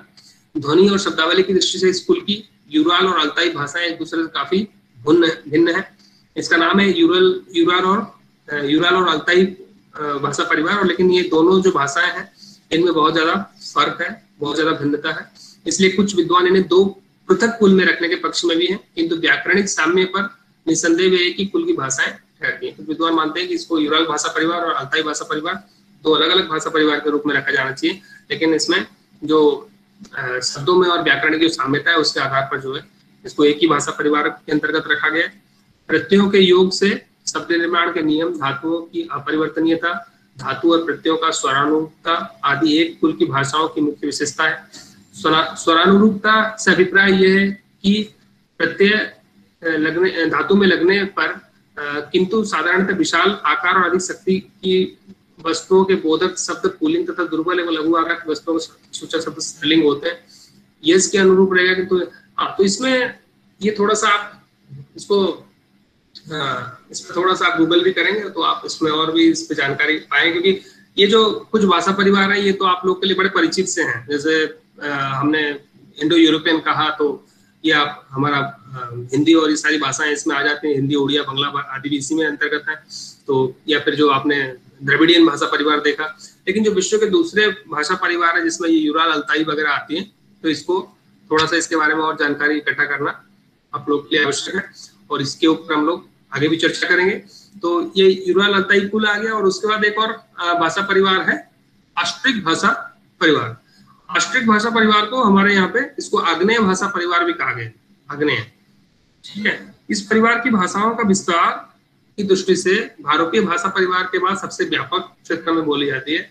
ये न्यूजीलैंड से लेकर के भारत की पूर्वी सीमा तक इसका विस्तार है। ठीक है? और इसके दो इसके दो भागों में इसको बांटा गया है, आस्ट्रिक को आस्ट्रो एशियाटिक और मलय पोलिनेशियन ठीक है आस्ट्रो एशियाटिक और मलय पोलिनेशियन आस्ट्रो एशियाटिक में फिर दो है मानखेर और दूसरा है कोल या मुंडा भाषाएँ। मानखेर की भाषाएँ म्यांमार, वियतनाम कंबोडिया आदि देशों में बोली जाती हैं और मुंडा भाषाएँ भारत में बोली जाती है संथाली, खासी आदि प्रमुख। तो मंडे पोलिनेशियन में मलय भाषा और मलय भाषा भाषा इंडोनेशिया जवदी की भाषा आदि प्रमुख है। ठीक है? तो आप अगर इसको देखें आ, मतलब जोग्राफिकली देखें तो मैं आपको यहाँ से आपको दिखाना चाहूँगा। ये आप देख रहे हैं मैप तो यहाँ आप अगर आप देखेंगे तो इसका जो विस्तार है यहाँ न्यूजीलैंड ऑस्ट्रेलिया ये इंडोनेशिया मलेशिया ठीक है? इंडोनेशिया मलेशिया से लेकर के भारत। ठीक है? तो जो सर आ, सर माफ़ कीजिएगा वो टोटल इसको थोड़ा सा जूम करके दिखाए क्योंकि बहुत सारे स्टूडेंट्स आप नहीं थे तो इसके संदर्भ में पूछ रहे थे तो इसलिए अगर हो सके तो इसको थोड़ा सा जूम कर दीजिए ताकि हाँ सर हाँ सर। ठीक है आप समझिए भी आपको समझ में आ रहा होगा। तो ये ये देखिए इसके बारे में बड़ा इंटरेस्टिंग है कि ये यहाँ आप देखिए ब्राउन कलर में है ऑस्ट्रो लैंग्वेज इसको कहा गया है। ठीक है? और ये मैं आपको इसका कलर दिखा दू?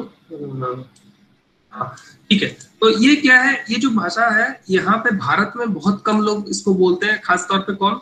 जो कहा जाता है कि भारत के जो मूल निवासी हैं यानी जो आदिवासी हैं जैसे मुंडा कोल संथाल ये सब जो झारखंड उड़ीसा और इवन आंध्रा आदि प्रदेश में या छत्तीसगढ़ मध्य प्रदेश तक इनका विस्तार है जो आदिवासी भाषाएँ वो भाषाएँ इस परिवार में आती हैं। और आ, मतलब एक सबसे पहले जो भाषा वैज्ञानिक इन्होंने अध्ययन किया तो उनको बड़ा आश्चर्य हुआ जब इन्होंने खोजा इसको कि आ, मतलब छत्तीसगढ़ उड़ीसा में आ, कुछ कोल मुंडा आदि जो आदिवासी हैं उनके भाषाओं के शब्द जो है ऑस्ट्रेलिया में ऑस्ट्रेलिया में बोले जाने वाले आदिवासियों के शब्दों से उसमें समानता आई गई तो फिर इन्होंने जब ये रिसर्च किया तो ये पाया कि जो है कहीं ना कहीं जो है यहाँ के जो मूल निवासी हैं, वो यहाँ से पलायन करके गए होंगे। तो यहाँ पे आपका मलेशिया, इंडोनेशिया होते हुए ये, यहाँ ऑस्ट्रेलिया तक इनका विस्तार और यहाँ आगे और चलेंगे। तो ये न्यूजीलैंड है, ये न्यूजीलैंड है। और यहाँ पे जो दूसरे जो टापू वगैरह हैं, यहाँ तक भी इनका फैलाव है। तो यहाँ तक वो गए और ये भाषाओं को लेकर के गए। तो इसका फैलाव बड़ा विस्तृत है, बड़ी दूर तक ये फैले हुए हैं। भारत में इनकी संख्या कम है, जो आदिवासी हैं, वो भी वही बेसिकली इसको बोलते हैं। लेकिन इसका बड़ा महत्व है इसलिए है क्योंकि बहुत प्राचीन भाषाएँ हैं ये। और इवन जो कुछ भाषा वैज्ञानिक है, वो मानते हैं कि जो इंडो यूरोपियन भाषाएँ वो बाद में आई। जो भारतीय भाषा की भाषाएँ हैं, भारतीय भाषाएँ बाद में आई, लेकिन ये जो आग्नेय भाषा परिवार था या इसकी भाषाएँ जो है भारत में, इससे पहले से जो है विद्यमान विद्यमान थी। तो ये हो गया आपका अष्टिक भाषा परिवार। ठीक है? तो आप इसको थोड़ा गूगल कीजिए।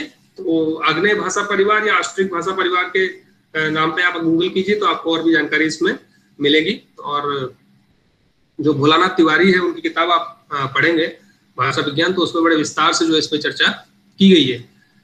अगला जो है, एक और जो परिवार है, नोवा परिवार, वो है अमेरिकी भाषाएँ। इस परिवार में एचडेक आदि सैकड़ों भाषाएँ हैं जो मूल अमेरिकी निवासियों के द्वारा बोली जाती हैं। इन भाषाओं के विद्वान, एस्किमो एजडेक आदि छह उपवर्गों में इसको बांटते हैं। देखिए, मैंने आपको स्टार्टिंग में बताया था कि जो अमेरिकी भाषा परिवार है, कौन सी स्लाइड में आपको बताया था? ये देखें मैं स्लाइड निकाल के आपको दिखाता हूँ।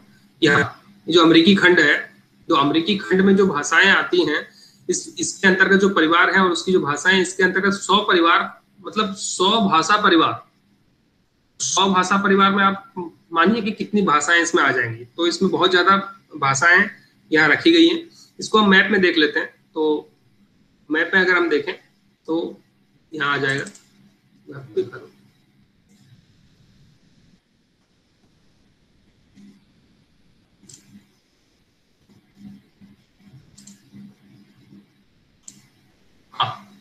ये क्या है? ये मूल तौर पे ये ग्रीन कलर में आप देख रहे हैं। तो ये नहीं है वो, अमरीकी भाषा ये तो आपका इंग्लिश है। इंग्लिश को दिखाया है और ये जो है भारतीय भाषा इसलिए इसको ग्रीन में दिखाया है, जो आप यहाँ पे देख रहे हैं, पूरा यूरोप और यूरोप एशिया और इंडिया और ये सब। तो यहाँ पे आप दूसरे दूसरे जो कलर में आप जो भाषाएँ देख रहे हैं ना, ये सब इसमें आ जाती हैं। ये ब्राउन देखिए, पर्पल देख लीजिए, ये पीला रंग है, ये ऑरेंज है, ये सब जो है। तो ये लोग कौन थे? ये थे तो यहाँ पे भी देखिए, ब्राउन डॉट्स हैं, जो मिडिल अमेरिका है, ये उत्तर अमेरिका, ये दक्षिण अमेरिका और ये मध्य अमेरिका। मध्य अमेरिका में आप देखते हैं कि यहाँ पे वो मैस्किको आदि कंट्रीज़ हैं मैस्किको ये सब देश हैं और ये ये जो दक्षिण अमेरिका महाद्वीप का उत्तरी भाग यहाँ पे, ठीक है? तो ये जो थे, ये जो मूल निवासी थे अमेरिका के, ये इनका प्रयोग करते थे। मूल निवासी क्या होते हैं इनका नाम, इसको हम रेड इंडियंस के नाम पे भी जानते हैं, ठीक है? रेड इंडियंस तो ये जब यूरोपियन लोग अमेरिका पहुँचे, उनसे पहले इनका निवास यहाँ पे था। ठीक है? तो आप कह सकते हैं कि यहाँ पे भारत में जो अष्टरिक भाषाओं की जो स्थिति थी, यहाँ पे अमेरिकी भाषाओं की भी वही स्थिति है। बाद में यूरोपियन लोग यहाँ आए, बाद में आर्य लोग यहाँ पे आए तो भारतीय भाषाएँ आई और भारतीय भाषाएँ जो है, इनका विस्तार काफ़ी देर, काफ़ी यहाँ पे हो गया। और यहाँ पे ये जो भाषाएँ हैं, इनका अस्तित्व तो अभी भी है। ठीक और इसको हम देख लेते हैं।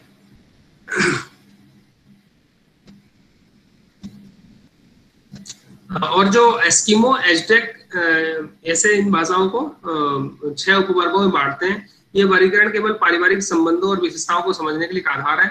हाँ तो ये थोड़ी सी इस पे ये हो गया वर्गीकरण हो गया अलग अलग परिवार हो गया इस पे थोड़ा सा इसको कंक्लूड करेंगे, इसको निष्कर्ष की ओर ले जाएँगे। तो ये वर्गीकरण जो है, ये केवल पारिवारिक संबंधों और विशेषताओं को समझने के लिए एक आधार इन इस वर्गीकरण में अनेक मत, मतांतर हैं इसलिए कोई निर्णयात्मक स्थिति नहीं बताई जा सकती। कई भाषाओं को कई विद्वान किसी भी परिवार में नहीं रखते इन्हें अलग ही भाषा परिवार मानते हैं। मतभेदों के रहते हुए परिवार की संकल्पना विश्व की भाषाओं को समझने के लिए हमारे लिए उपयोगी है। तो ये क्या होता है? एक ये जो बनाया गया है इसमें बहुत सारे मतभेद भी हैं जैसे मैंने शुरू में बताया मत मतांतर भी हैं। और इसमें बहुत सारे कंसेप्ट ऐसे हैं जो परिकल्पनाएँ हैं वो बदलती भी रहती हैं। जैसे जैसे नया नया रिसर्च सामने आता है तो ऐसा परिवर्तन भी होता रहता है। लेकिन इससे क्या होता है कि ये समझ लीजिए कि एक कमरे में एक उदाहरण के तौर पे एक कमरे में अगर मैं अलग अलग रंगों के बहुत सारे बॉल्स डाल दूँ छोटे छोटे बॉल्स डाल दूँ, और उनको मैं कहूँ कि भाई आप इनको थोड़ा समेट करके इसको व्यवस्थित कर दीजिए तो आप क्या करेंगे? तो अगर आप थोड़ा सा उसको साइंटिफिकली अगर आप देखेंगे तो क्या करेंगे कि एक ही रंग के जो बॉल्स हैं, उनको आप, वो जो बॉल्स हैं, उनको इकट्ठा करके एक जगह रख लें या एक ही साइज़ के जो बॉल्स हैं, उनको इकट्ठा करके एक जगह रख लें और उनको अलग अलग रंग में रखते हैं और तो आप, और उस तरीके से मुझे प्रस्तुत तरीके से देखते हमने, इस इस तरीके से रख दिया है। तो अब उनको, हमको देखने में कि हाँ ये पीले रंग के इतने बॉल हैं, नीले रंग के इतने हैं, हरे रंग के इतने हैं, इस साइज़ के इतने हैं, चौकोर बॉल ऐसे हैं स्क्वायर बॉल ऐसे हैं। तो उनको थोड़ा समझने में और उनकी संख्या, उनकी मात्रा आदि को समझने में थोड़ी सी आसानी हो जाती है। इसीलिए जो है ये विश्व के जो भाषा परिवार है, इसकी संकल्पना की गई ताकि जो है विश्व में जो फैली हुई भाषाएँ हैं, वो उनके अंदर जो संबंध अंतर संबंध समानताएँ, विसमानताएँ जो भी हैं, उन सबका अध्ययन हम लोग कर सकते तो आज की कक्षा में इतना ही, और अब जो है मैं, अगर कोई आपके प्रश्न है तो उनको हम लेंगे, और उसको स्पष्ट करेंगे, और अगली कक्षाओं में जो है, जो भाषा परिवार हैं, जिनमें भारत के जो, भारत के भारत में बोले जाने वाले जो भाषा परिवार हैं उनको और खास करके भारतीय और इंडो द्रविडियन और इन सब का अध्ययन अलग अलग कक्षाओं में करेंगे। तो मैं अनुरोध करूँगा अभिषेक जी से कि अभिषेक इसको लें और कक्षा को अपने संचालन अपने हाथ में लें और कोई प्रश्न आदि हो तो पूछे। जी सर जी सर निश्चित सर, धन्यवाद सर। बहुत अच्छे व्याख्यान के लिए, क्योंकि बहुत सारी चीज़ें जब होती जाती है ना, लगातार अलग अलग विषय, क्योंकि हिंदी साहित्य में लगातार दो मंडी से क्लासेस वगैरह चल रही है। तो एक लंबा सा गैप भी हो गया था तो इसलिए मेरी भी बहुत सारी यादें ताज़ा करने के लिए जो पढ़े थे ना लगातार आप ना रहे उस विषय में लगातार बने ना रहे तो बहुत सारी चीज़ें भूल जाते हैं। तो इसलिए मुझे भी रिकॉल कराने के लिए बहुत सारी चीज़ें आपको बहुत बहुत धन्यवाद सर आ, मैं प्रश्न वगैरह लेता हूँ और भी विद्यार्थियों से अनुरोध है कि उनके जो कुछ प्रश्न द्वंद हो वो लगातार अपने इस चैट बॉक्स के माध्यम से लिख करके पूछे। तो सबसे पहले सर मैं एक प्रश्न लेता हूँ कमल जी ने एक प्रश्न लिखा है कि वैश्विक भाषा परिवार के संदर्भ में जब हम बात करते हैं तो भारोपीय भाषा परिवार सबसे बृहत है तो उसकी प्रमुख विशेषता क्या है कि भारोपीय भाषा परिवार की इतना बृहत है क्योंकि बाकी जब हम देखते हैं तो तीन, चार, पाँच, दस प्रतिशत में सिमट जाती है। वहीं जब भारतीय भाषा परिवार तो चालीस फ़ीसदी, दुनिया की चालीस फ़ीसदी आबादी भाषा को बोलती है, उपयोग करती है। तो उसके पीछे का कारण क्या है? हाँ मैं ये कह रहा था कि इस पे तो हम लोग एक अगली क्लास में हमको एक पूरा मैंने बताया आपको कि जो ये है भारोपीय भाषा परिवार है, या जो इंडो यूरोपियन लैंग्वेज फैमिली है, इसके ऊपर एक पूरे कक्षा में हम चर्चा करेंगे। तो हम इस पे तब विस्तार में इस पे बात करेंगे। विशेषताएँ आपने पूछी हैं कि भारोपीय भाषा परिवार सबसे बृहद होने की प्रमुख विशेषताएँ क्या है? यानी आप ये जानना चाहते हैं कि इतना बड़ा क्यों है एक परिवार? ये डिपेंड करता है माइग्रेशन के ऊपर। एक्चुअली अगर हम जो इसको देखें चार पाँच हज़ार साल पहले का ये देखें, तब तब विश्व में कितनी भाषाएँ बोली जाती थी? तब विश्व में भाषाएँ बहुत कम थी। ठीक है धीरे धीरे भाषाओं का विकास हुआ। और जो, जैसे हम लोग बात कर रहे थे, आर्यों की बात कर रहे थे, ठीक है? मैं एक आपको थोड़ा सा पीपीटी है मेरे पास, मैं देखता हूँ, अगर है तो मैं आपको दिखा दूँ। जो मैं अगली कक्षा में शायद ये करने वाला हूँ, मैं थोड़ा सा एक एक सेकंड का समय लेता हूँ।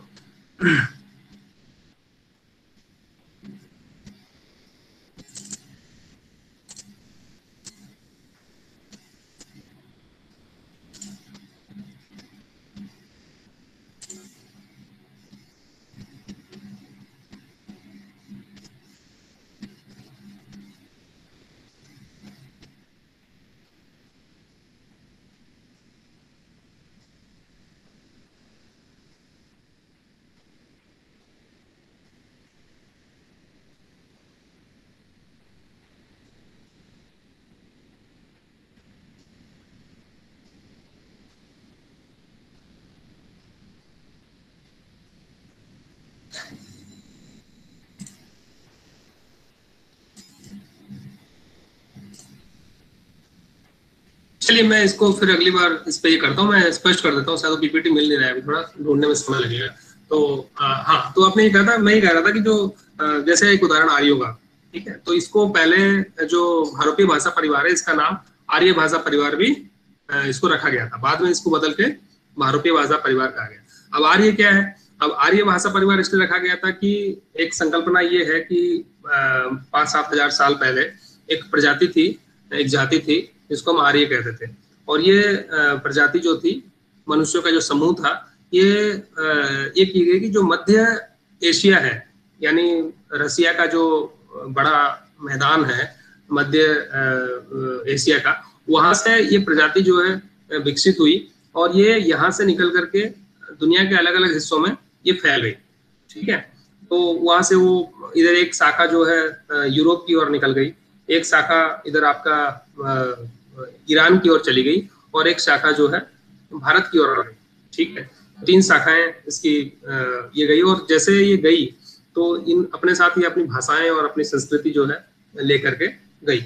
और उनसे जो है ये जो आर्य भाषाएँ हैं, वो विकसित हो गई। जिसमें वो जो आर्य भाषाओं में, इसलिए जर्मन, फ्रेंच जो यूरोप में जो भाषाएँ हैं, उनसे विकसित हुई और इधर ईरानी भाषा, जो पारसी भाषा है, वो एक शाखा से विकसित हुई और इधर ये लोग जो इंडिया में आए तो ये लोग संस्कृत लेकर के आए और संस्कृत से फिर बाद में पाली, प्राकृत, अपभ्रंश आदि होते हुए जो भारत की जो आधुनिक आर्य भाषाएँ हैं, जैसे मराठी, बंगला उड़िया असमीज, कश्मीरी हिंदी, ये सारी भाषाएँ जो है, विकसित हुई। तो इसलिए इनका जो माइग्रेशन है, इनका जो माइग्रेशन का जो प्रवास था, वो बड़ा विस्तृत था। बड़ी बड़ी अलग अलग दिशाओं में ये लोग फैले और एक तरीके से जो है इन्होंने अपना आधिपत्य जो है मनाया और मतलब एक तरीके से जो दूसरी भाषाएँ उनको भी प्रभावित किया, दूसरी संस्कृतियाँ उनको प्रभावित किया। इसीलिए जो है आज ये जो परिवार है, इसका विस्तार आप बड़ा ज़्यादा, बहुत ज़्यादा देखते हैं और इसको बोलने वाले लोग भी बहुत ज़्यादा है और डाइवर्सिटी और भाषाओं की ये भी जो है विशेषताएँ इसी के कारण ज़्यादा दिखाई देती हैं। और जी सर जी सर। लगातार प्रश्न वगैरह बहुत से आ रहे हैं। मैं रखता हूँ। प्रीति जी, एक प्रश्न पूछ रही है कि भारतीय आर्य भाषाएँ कौन कौन सी है और उनकी विशेषताएँ क्या है? तो विशेषताएँ के ऊपर तो हम लोग अगली कक्षा में चर्चा करेंगे। मुख्य रूप से सर, भारतीय आर्य भाषाएँ परिवार कौन कौन सी हैं? ये वो पूछ रहे हैं। क्योंकि विशेषताएँ पे एक कक्षा होनी है जो सिर्फ़ और सिर्फ़ आर्य भाषा परिवार पर सीमित होगी। तो वो विशेषताओं पे उससे चर्चा करेंगे। और भारतीय आर्य भाषाएँ कौन कौन सी है? आप कहेंगे कि नहीं तो मैं थोड़ा सा इस पे प्रकाश डाल दूँ अगर आपकी अनुमति जी जी सर तब तक पानी पीजिए। जी प्रीति जब हम बात करते हैं भारी आशा परिवार की। तो एक छोटा सा मैं मतलब साधारण शब्द में आपको ये कहूँगा यह भाषा परिवार मतलब विश्व का अत्यंत सबसे विशाल भाषा परिवार भी है और यूरोपीय भाषा परिवार की भारतीय शाखा को जितना मुझे स्मरण आ रहा है कि यूरोपीय भाषा परिवार की भारतीय शाखा को हम लोग भारतीय आर्य भाषा शाखा के नाम से भी जानते हैं। और इसका अगर हम प्राचीनतम रूप देखें, कौन सी भाषा है? तो संस्कृत सबसे प्राचीनतम है। जो जो आगे चल के अगर हम बात करते हैं हिंदी साहित्य में तो वैदिक संस्कृत, लौकिक संस्कृत पाली प्राकृत अपभ्रंश जहाँ से भारतीय भाषाएँ परिवार उदय होती है तो ये उनकी मुख्य भाषाएँ हैं जिससे आगे चल करके बहुत सारी भाषाएँ जो आज के समय में उत्तर दक्षिण पूरा पश्चिम नॉर्थ ईस्ट में बोलते हैं जो धीरे धीरे करके यहीं से निकलती है। जी सर अगर कहीं मैं गलती क्या हूँ तो सर ये अभिषेक ने एकदम सही बताया कि जो आर्य भाषा परिवार है ना मैंने बताया जो शाखा यहाँ पे आई वो संस्कृत लेकर और से इनका जितनी आधुनिक आर्य भाषाएँ हैं, जिसको हम कहते हैं, ओडिया, बंगला, मराठी कोंकणी इधर फिर आपकी उत्तर में पंजाबी, कश्मीरी, डोगरी, ठीक है, और इधर पूर्व में बिहारी, ओडिया बंगाली, ये सारी जितनी भाषाएँ हैं, ये सब आर्य भाषा परिवार के ही सदस्य हैं, और आर्य संस्कृत से ही इनका विकास हुआ है, ठीक है। और बाद में इनका जो कॉन्टेक्ट में आना जो बोलते हैं तो द्रविड़ भाषा के साथ संपर्क में आए। और द्रविड़ भाषा में संपर्क में आने के कारण जो है जो संस्कृत की शब्दावली है, ये बहुत सारी द्रविड़ भाषा में भी गई है। ठीक है, जैसे तेलुगु भाषा है खासतौर पर बड़ी इसको तेलुगु को मतलब दक्षिण भारत की सबसे मधुरतम भाषा इसको कहा जाता है। Italian of Indian language family करेगा क्योंकि इटली भाषा इटलियन भाषा को बड़ी स्वीट माना गया। तो इसमें तेलुगु ने बहुत सारे संस्कृत के शब्द अपनाए, मलयालम ने बहुत सारे संस्कृत के शब्द अपनाए, तमिल ने भी संस्कृत के शब्द अपनाए। तो ये जो आर्य भाषा परिवार की जो भाषाएँ थी, इसका प्रभाव इनके ऊपर भी पड़ा और कुछ कुछ जो है हमने लिया। यानी कि तमिल भाषा के शब्द और जो द्रविड़ भाषा के जो शब्द हैं, वो आर्य भाषा में भी अपनाए बट उनकी संख्या कम है। तो ज़्यादा समय नहीं है इस पर हम बाद में आगे चर्चा करेंगे। तो मूल तौर पर यही सारी भाषाएँ हैं जो आर्य भाषा परिवार में आ जाती हैं। जी सर आगे एक प्रश्न है कि कुल कितने भाषा परिवार हैं? इसमें प्रश्न मुझे लगता है बताने की आवश्यकता नहीं मैंने बताया कि इसमें जो मुख्य बड़े भाषा परिवार है वो नौ है ठीक है? और छोटे बड़े भाषा परिवारों को अगर सम्मिलित करें तो लगभग पच्चीस भाषा परिवार है ठीक? और विश्व में जो भाषाएँ हैं वो लगभग आप गूगल करेंगे तो आप पाएँगे पाँच छह हज़ार से ज़्यादा भाषाएँ हैं। तो जब मतभेद की बात आती है तो उसमें कुछ लोग तो कहते हैं जैसे कि जो अमरीकी, मैंने बताया, अमरीकी जो खंड बताया तो अमरीकी खंड में कुछ विद्वान मानते हैं कि इसके अंतर्गत सौ भाषा परिवार, भाषाओं की संख्या छोड़ दी, ठीक है? तो यह लेकिन अगर हम भाषा वैज्ञानिक तौर पर देखें तो नौ दस मुख्य तौर पर नौ दस भाषा परिवार आराधना जी जी जी आराधना जी एक प्रश्न लिखती है कि भारत की भाषाओं की सामान्य विशेषताएँ क्या है? ये तो मेरे ख्याल से दो तीन घंटे का लेक्चर हो जाएगा इसका विशेषताएँ देखें। तो बहुत सारी विशेषताएँ एक तो भारत की भाषाएँ भाषाएँ बहुत ज़्यादा है ठीक है? ये दुनिया में एकमात्र ऐसा देश है जिसमें दो ढाई हज़ार भाषाएँ बोली जाती हैं और उन भाषाओं की बोलियाँ भी बहुत ज़्यादा है। है ना? आप जानते हैं बाखर भाषा की अपनी बोली जैसे उड़िया की उड़िया भाषा बोलने वाले करीबन चार करोड़ लोग हैं। तो चार करोड़ में से करीबन चालीस बोलियाँ होंगी उड़ीसा में है ना? हर बोली की अपनी विशेषता है। अपन अपनी अलग मधुरता है ठीक है? तो विशेषताओं का तो कोई अंत नहीं है बताने के लिए। जैसे आप हल्दरनाथ की कविता सुनते हैं तो आपको वो बड़ी मधुर लगती है अच्छी लगती है। आप उपेंद्र भंज की कविता पढ़ते हैं तो वो अलग लगती है आपको बांग्ला भाषा की अपनी अलग मधुरता है ठीक है? आ, मैं एक भाषा के बारे में आपको बताना चाह रहा था बट वो नाम ध्यान से निकल गया। एक द्रविड़ भाषा परिवार की भाषा थी मैं अगली क्लास में आपको बताऊँगा द्रविड़ भाषा परिवार कहाँ है? उसका लोकेशन कहाँ है? साउथ इंडिया में ठीक है? और दक्षिण भारत में से वो भाषा निकल करके अब वो भाषा कहाँ जीवित है? आपको जान के आश्चर्य होगा अब वो भाषा पाकिस्तान में जीवित है ठीक है? भारत में नहीं बोली जाती और वो जो बलोची, बलोचिस्तान जो आज हम बड़ा नाम उसका सुनते हैं, बलोच में कुछ क्षेत्र है, वहाँ पे वो भाषा बोली जाती है, लेकिन बेसिकली वो द्रविड़ भाषा परिवार की भाषा है, ठीक है? तो उसके बारे में मैं अगली कक्षा में उसका नाम लेकर के और और भी चीज़ें बताऊँगा, आपको बड़ा इंटरेस्टिंग लगेगा, वो बड़ी अजीब सी भाषा है, और उसको ब्राहुई ठीक नाम याद आया Brahui B R A H U I search कीजिए गूगल पे, आप उसका लोकेशन ढूंढिए ये द्रविड़ भाषा परिवार की भाषा थी और इसलिए जो भाषा वैज्ञानिक है वो मानते हैं कि ये भाषा दक्षिण भारत से चल करके पाकिस्तान के बलोच प्रांत में कहा पहुँची? कैसे पहुँची? जब बीच में पूरा उत्तर भारत आया गुजरात आया यहाँ पे ये ब्राहुई नहीं बोली जाती। तो वहाँ पहुँची तो इसलिए ये, ये माना गया कि जो आ, हमारी जो सिंध संस्कृति थी ना इंडस वैली सिविलाइजेशन तो इंडस वैली सिविलाइजेशन के बारे में जो विवाद है उसमें एक तथ्य ये भी रखा जाता है कि उनकी भाषाएँ आर्य भाषा नहीं थी बल्कि द्रविड़ भाषाएँ थी। और ये द्रविड़ लोग थे जो दक्षिण भारत से जा करके इन्होंने ये सभ्यता सिंधु नदी के किनारे बसाई थी। ठीक है? और इसीलिए जो है ये भाषा आज ब्राहुई भाषा जो है यहाँ पे बोली जाती है। तो ऐसे बहुत सारे फैक्ट्स हैं बड़े सारे अमेजिंग फैक्ट्स हैं जिनको आप भाषा के बारे में आप जानेंगे। जैसे मैंने बताया ना ये आप ये शोध और अनुसंधान का विषय भी जैसे मैंने उदाहरण दिया था पनही का। तो पनही जो है पश्चिम उड़ीसा में बोलते हैं चप्पल के लिए और ये आपको मिलेगी अवधि भाषा में सब। तो ऐसे बहुत सारी चीज़ें और बहुत सारी विशेषताएँ और जिस पर हम चर्चा कर सकते हैं। अगला प्रश्न अभिषेक जी इनका ले? वसुंधरा मेहर का? जी जी जी।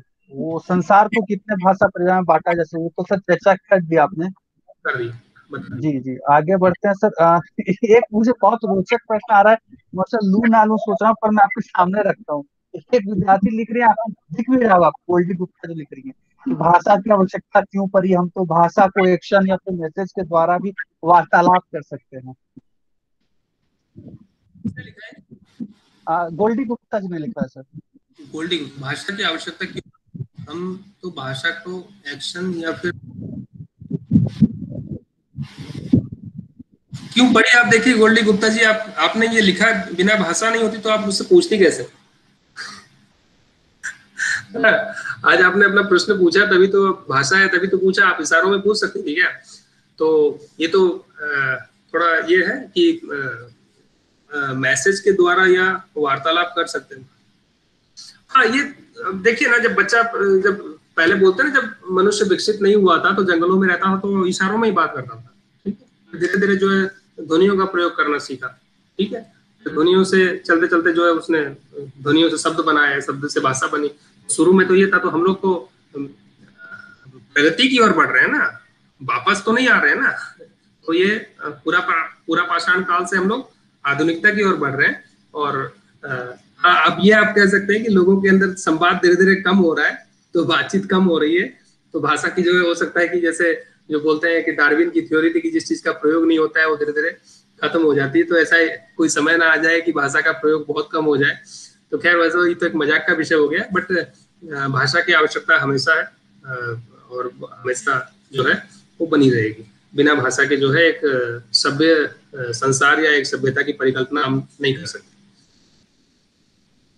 ठीक है सरला जी का प्रश्न ले लीजिए जी जी सर वो पूछ रहे हैं कि आ, पहले तो उनका प्रश्न से मैं सहमति नहीं जताता हूँ। वो लिखती है कि सर आर्य और द्राविड़ दोनों भारतीय भाषा है तो आर्य भारत से बाहर बोली जाती है और द्राविड़ भाषा भारत में सीमित रह मैं इससे बिल्कुल सीमित सहमत नहीं हूँ, क्योंकि द्राविड़ भाषा बहुत संख्या में बाहर भी बोली जाती है।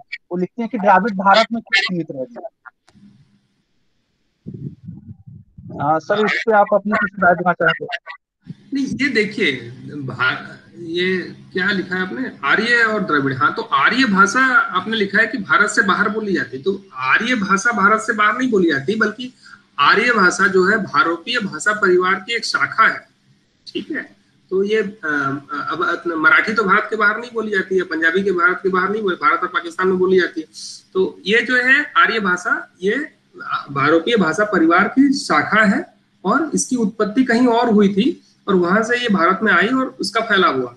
ठीक है? इसको ऐसे समझिए। लेकिन जब द्रविड़ भाषा परिवार है, वो कहीं इंडो, इंडिया से बाहर वो बना नहीं। उसकी उत्पत्ति इंडिया में हुई है। इंडिया में ही हुई और जो द्रविड़ थे, द्रविड़ क्षेत्र था, वहीं तक उसका विस्तार सीमित रहा। और उसके बाद इसलिए ये चार जो भाषा है, मलयालम, तेलुगु, तमिल और कन्नड़, ये चार चार और तुलु भाषा तुलु भी एक भाषा है कर्नाटक में। ये पाँच भाषाएँ बेसिकली इसके अंतर्गत आती हैं और भी बोलियाँ हैं, आती हैं। और अब देखें तो जैसे उसका श्रीलंका में तमिल है, और श्रीलंका में तमिल है और सिंहलीज है। जो सिंहलीज भाषा है, वो द्रविड़ भाषा नहीं है। ठीक है, सिंहलीज आर्य भाषा है। जो वहाँ के जो मूल निवासी हैं श्रीलंका के वो सिंहलीज बोलते हैं। और तमिलनाडु से जो लोग गए और वहाँ बस गए वो लोग तमिल बोलते हैं। तो दक्षिण भारत और तमिलनाडु। और अब जो तमिल के लोग हैं तमिलनाडु के सब सिंगापुर आदि में मलेशिया इंडोनेशिया में फैले हुए तो वो लोग अपने साथ भी ये तमिल भाषा लेकर के गए। ठीक है? तो इस प्रकार से आप इसको समझिए। कमल हाँ, आपसे ही संबंधित प्रश्न है। तो आपसे पूछ रहे हैं कि आप जहाँ कार्यरत है वहाँ पे बोली जाने वाली भाषा कौन कौन है? वो भारत की किस, किसी भाषा का संबंध समानता रखता है या उसकी अपनी स्वतंत्र विशेषता है? ठीक है ये कोंकणी भाषा उसी की आर्य भाषा परिवार की भाषा है। बोली लिपि उसकी देवनागरी है। ठीक है मराठी से बहुत ज़्यादा समानता रखती है। मराठी और कोंकणी लगभग आप भाई बहन कह सकते हैं जैसे बंगला उड़िया का संबंध जोड़ते हैं हम लोग। तो वैसे ही है लेकिन थोड़ी सी अंतर है, बोलने में एक्सेंट आदि अलग होता है। मराठी थोड़ा सा आसान लगता है समझने में। कोंकणी थोड़ी सी ये और ये ये, और मतलब है आर्य भाषा परिवार की भाषा। द्रविड़ भाषा से उसका संबंध नहीं है। जी सर, एक अंतिम प्रश्न मैं लेता हूँ। सागरिका जी ने प्रश्न लिखा है कि वैश्विक भाषाओं के साथ भारतीय भाषा का सामंजस्य तो है। जैसे आपने बताया कि स्पेनिश, फ्रेंच, अमेरिकन आदि तो अन्य देशों में भारतीय भाषाओं के साथ तुलना करते हैं क्या? भाषाओं के साथ भारतीय भाषाओं का सामंजस्य तो है, जैसे आपने बताया कि स्पेनिश फ्रेंच अमेरिकन तो अन्य देशों में भी भारतीय तुलना करें ना करें, वो अलग चीज़ है। तुलना का विषय नहीं है। ये तो हम लोग, क्या ना, एक वैज्ञानिक पढ़ाई है ये। लिंग्विस्टिक का ये जो क्षेत्र है ना, इसमें हम लोग ये पढ़ रहे हैं कि ये तुलना का विषय नहीं है। ये संबंध है अंतर संबंध जो है, वो है। तो उस, उसको हम स्थापित कर रहे हैं। तो उस क्रम में अगर हम देखें तो जो इंडो यूरोपियन फैमिली है, उसकी भाषाएँ इसमें हिंदी है, पंजाबी है और इवन जो ग्रीक है, लेटिन है, फ्रेंच है, जर्मन है, इंग्लिश है, ये सारी जो है एक ही परिवार से बिलोंग करती हैं। तो उसमें जो है, वो लोग संबंध संबंध जोड़ना नहीं जोड़ना वो अलग विषय है, बाकी संबंध इसमें है, ठीक है? और वो लोग उसकी चर्चा करते हैं, नहीं करते हैं तो ये आप, ये जो लिंग्विस्टिक आप पढ़ रहे हैं, ये यूनिवर्सल है। इंग्लिश में भी आप पढ़ेंगे तो आपको इंग्लिश में भी वही पढ़ाया जाएगा और हिंदी भाषा के विद्यार्थी के रूप में आप जो पढ़ रहे हैं वही पढ़ाया जाएगा।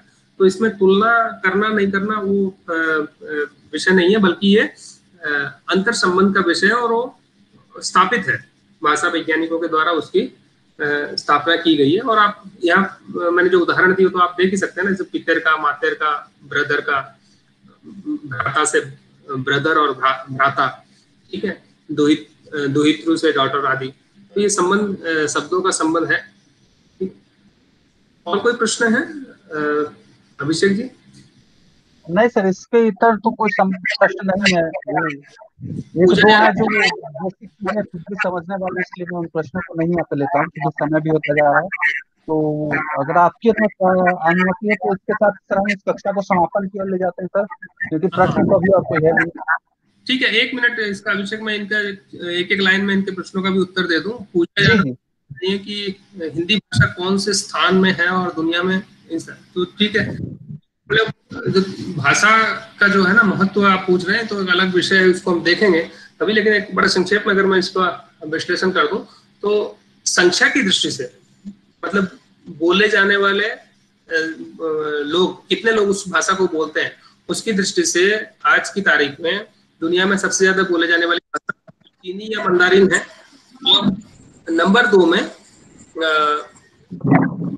नंबर दो में आप हिंदी और स्पेनिश ज्योति जी आप माइक बंद कर लीजिए थोड़ा हाँ। जो नंबर टू पे स्पेनिश भाषा को और नंबर तीन पे इंग्लिश को और नंबर चार या पाँच पे हिंदी भाषा को रखा जाता है बोलने वाले इसकी संख्या के आधार पे। लेकिन हिंदी को लेकर थोड़ा सा कंफ्यूजन इसलिए रहता है कि उर्दू को हिंदी के अंतर्गत समाहित किया जाए नहीं किया जाए। उर्दू एक स्वतंत्र भाषा के रूप में उसका अस्तित्व है, लेकिन हिंदी के विद्वान मानते हैं कि उर्दू भी जो है, एक हिंदी की ही शैली है। सिर्फ़ लिपि को हटा दें, लिपि यानी स्क्रिप्ट को अगर हम छोड़ दें तो हिंदी और उर्दू में कोई विशेष अंतर नहीं है। तो एक हमारे विद्वान हुए हिंदी के, उन्होंने एक बड़ा शोध पत्र अपना प्रकाशित किया था और उन्होंने हिंदी और उर्दू दोनों भाषा को एक भाषा मानते हुए पूरे दक्षिण एशिया से लेकर के अमेरिका, गल्फ कंट्रीज़ आदि में जो ये जो हिंदी, उर्दू भाषी हैं, उनकी संख्याओं का विश्लेषण करते हुए उन्होंने ये प्रूफ किया था कि हिंदी भाषा विश्व में सबसे ज़्यादा बोले जाने वाली भाषा है। इवन वो जो नंबर है उसको मंदारिन या चाइनीज़ से भी ज़्यादा बताया। तो अगर हम उसको भी छोड़ दें तो आज हम कह सकते हैं कि बोले जाने वाली भाषा की संख्या के आधार पर विश्व में तीसरे या चौथे नंबर की भाषा है। हिंदी, ये उसका स्थान है। लेकिन सिर्फ़ बोले जाने वाले नंबर के आधार पे हम भाषा की शक्ति जो है, भाषा की ताकत नहीं कर सकते, क्योंकि स्पेनिश भाषा जो है उसकी बोले जाने वालों की संख्या में वो चौथे या पाँचवें स्थान पे आती है। और ये फ्रेंच आदि जो लैंग्वेज है, उनकी बोले जाने वाले संख्या बहुत कम है, लेकिन फिर भी उनका आधिपत्य और उनका विस्तार बहुत ज़्यादा है। बहुत ज़्यादा देशों में पढ़ाई जाती है, बहुत ज़्यादा लोग उसका प्रयोग करते हैं। तो उससे जो है, उसकी ताकत भी जो है, भाषा की ताकत भी हमको देखनी होती। है और उस लिहाज से हिंदी जो है अभी भी काफ़ी मतलब वैश्विक संदर्भ में अगर देखें तो उतनी विकसित नहीं हो पाई है। अब धीरे धीरे जो है हम लोग उसका महत्व समझ रहे हैं और उसको एक अंतर्राष्ट्रीय पटल पे जो है स्थापित करने का प्रयास कर और ये विश्व में भाषा में हिंदी का स्थान या असित पाणिग्राही और पूजा यादव दोनों का लगभग यही प्रश्न था और ये मैंने इसको कर दिया। मुझे लगता है कि अब और कोई प्रश्न नहीं है। और अगर कोई अगला प्रश्न हो तो आप कोई अच्छा प्रश्न हो तो आप तैयार रखिएगा। अगली कक्षा में जो है उसको ले लेंगे और उसको चर्चा करेंगे क्योंकि आप ऑलमोस्ट एक बजने वाले हैं तो जी जी जी बिल्कुल सर। इसको हम समापन की ओर ले चलते जी सर तो आपका बहुत बहुत धन्यवाद। जी सर आपका बहुत बहुत धन्यवाद बहुत बहुत आभार कि आपने अपना समय दिया। क्योंकि थोड़ा सा आपको भी जॉब में फुर्सत बहुत कम ही मिल पाती है। फिर भी एक दिन छुट्टी का मिलता है, वो भी मैं आपसे ले लेता हूँ। तो इसके लिए बहुत बहुत धन्यवाद, आभार कि आप समय दे पाते हैं अपना हमें। तो इसी तरह से पुनः एक बार हम लोग वापस से इसी जो पाठ्यक्रम में इसी अगले इकाई में हम लोग पुनः एक बार आगामी सप्ताह में जुड़ेंगे। और आपसे अनुरोध रहेगा कि आप अपना समय हमें दे समय खाली रखें हमारे लिए। तो आप सबका बहुत बहुत धन्यवाद। प्रिय विद्यार्थी आपका बहुत बहुत धन्यवाद। क्योंकि आपके बिना कक्षा पूर्ण नहीं होती। सर का बहुत बहुत धन्यवाद। उन्होंने अपना समय दिया। मैं जब भी सर को कहता हूँ, वो तैयार रहते हैं हमेशा अपना समय देने के लिए। और इसी सर बहुत बहुत धन्यवाद अपने विश्वविद्यालय की ओर से। पुनः एक बार आपका आभार। धन्यवाद। धन्यवाद अभिषेक जी और सभी छात्रों का भी धन्यवाद और अमित जी का भी धन्यवाद। और आप सभी ने मुझे धैर्य पूर्वक सुना और मैं आशा करता हूँ कि ज़रूर कुछ नई चीज़ें आपने, आपको सीखने के लिए मिली होगी। और अगली कक्षा में हम फिर जुड़ेंगे और फिर कोई नए विषय के ऊपर जो हमारा भाषा विज्ञान से संबंधित है और भाषा परिवारों से संबंधित है उसको लेकर के हम लोग फिर जुड़ेंगे और फिर चर्चा को आगे बढ़ाएँगे। जी सर बहुत बहुत धन्यवाद। सर आप चाहे अपनी ओर कॉल कर सकते हैं? जी। अमित सर आपका बहुत बहुत धन्यवाद सर अपना समय देने के लिए टाइम देने के लिए। कक्षा को मैं हाँ सर थैंक यू सर कक्षा को मैं समाप्त करूँ उससे पहले एक दो बातें मैं आप लोगों के सामने रखूँगा। क्योंकि समय कम था और सर को भी जाना था, इस वजह से मैंने सर को रोका नहीं। एक दो प्रश्न ऐसे थे जिससे मैं चर्चा कर रहा था तो किन्हू ने एक दो प्रश्न आए थे तो मैं थोड़ा सा, अगर आप लोगों में धैर्य को समय हो तो मैं उस पर थोड़ा सा हल्का फुल्का चर्चा कर दू, जितना भी मैं जानता हूँ। जैसे जब मैं चर्चा कर रहा था, उस समय किन्हों ने एक सर सरला जी ने एक प्रश्न लिखा था, एक सेकंड में थोड़ा नीचे करूँ। हाँ सरला जी यहाँ पे है या नहीं है, मुझे नहीं ध्यान में आ रहा है। एक सेकेंड में देख लू।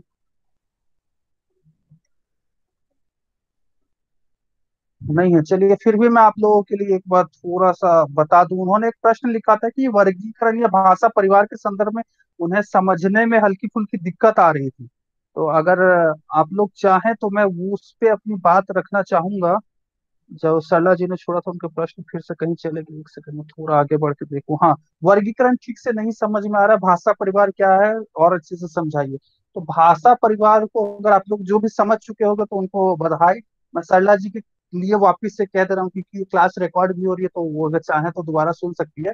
तो मैं एक छोटा सा जो मैंने अपने एमए के दौर में जो पढ़ा था, इसका एक अगर कहें तो इंट्रोडक्शन के तौर पे कि भाषा परिवार क्या है तो संदर्भ में बस इतना ही कहूँगा कि जिस प्रकार मनुष्यों का परिवार होता है ना, उसी प्रकार भाषाओं का भी अपना परिवार होता है। जैसे भाषाओं का समूह, जिनका जन्म किसी एक मूल भाषा से हुआ। जैसे मैंने उदाहरण दिया ना कि वृक्ष रहता है, उसकी शाखाएँ रहती है, फिर एक शाखा से बहुत सारी शाखाएँ निकलती है। उसी तरह भाषा का भी अपने जो परिवार होता है, इसी तरह का होता है, एक समूह होता है, जिनका जन्म किसी एक मूल भाषा से मतलब एक मूल भाषा है, उससे बहुत सारी भाषाएँ निकलती हैं, उससे आगे चल के बहुत सारी बोलियाँ बनती है इसे हम साधारण शब्द में जो एक ही मूल भाषा से जन्म लेने के कारण इनमें कई समानताएँ रहती है तो वो एक ही भाषा परिवार का कहलाती है। जिसको जैसा ने बताया कि बहुत सारी भाषाएँ परिवार है जैसे भारत यूरोपीय जिसे हम भारोपीय कहते हैं या सर ने भी, भी समझाया आप लोग द्राविड हो गया चीनी हो गया सिमेटिक हो गया टेमेटिक हो गया ये बहुत सारी भाषाएँ परिवार है।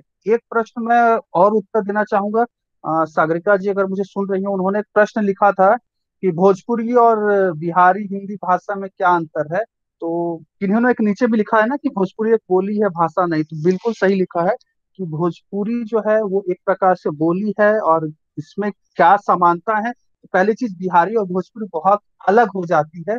इसमें कोई उतनी बेहतर या कोई उतनी सटीक समानता नहीं है। जब हम बिहारी की बात करें तो मुख्य रूप से ये बिहारी जो है, ये पूर्वी हिंदी आर्य भाषाओं का एक पश्चिमी समूह है।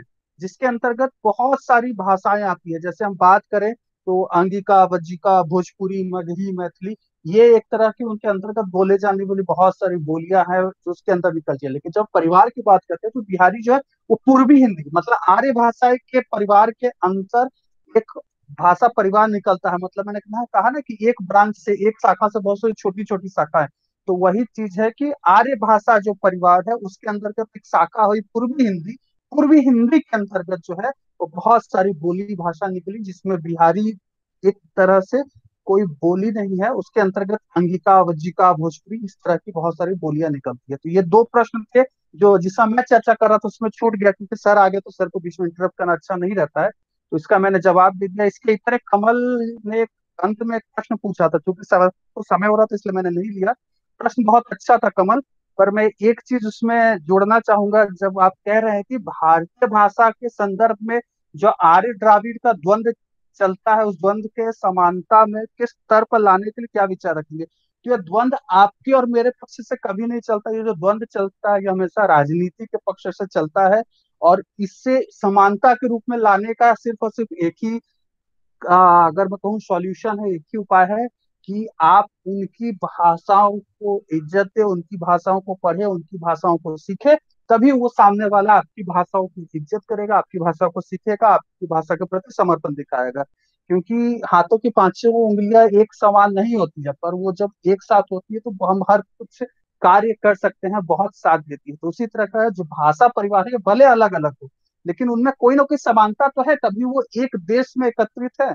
और ये हमारी और आपकी ज़िम्मेदारी बनती है कि हम उस भाषा का सम्मान करें। जैसे आप लोग बहुत सारे उपन्यास पढ़ते होंगे, चेमिन और संस्कार की मैं बात करूँ, जो मलयालम और तेलुगु में लिखी हुई उपन्यास है हिंदी में उसका अनुवाद हुआ। जब उस उपन्यास को पढ़ते हैं, आपको कहीं लगता है कि यह तमिल का, तेलुगु का या द्राविड क्षेत्र का है, मैं इसे नहीं पढ़ूँगा।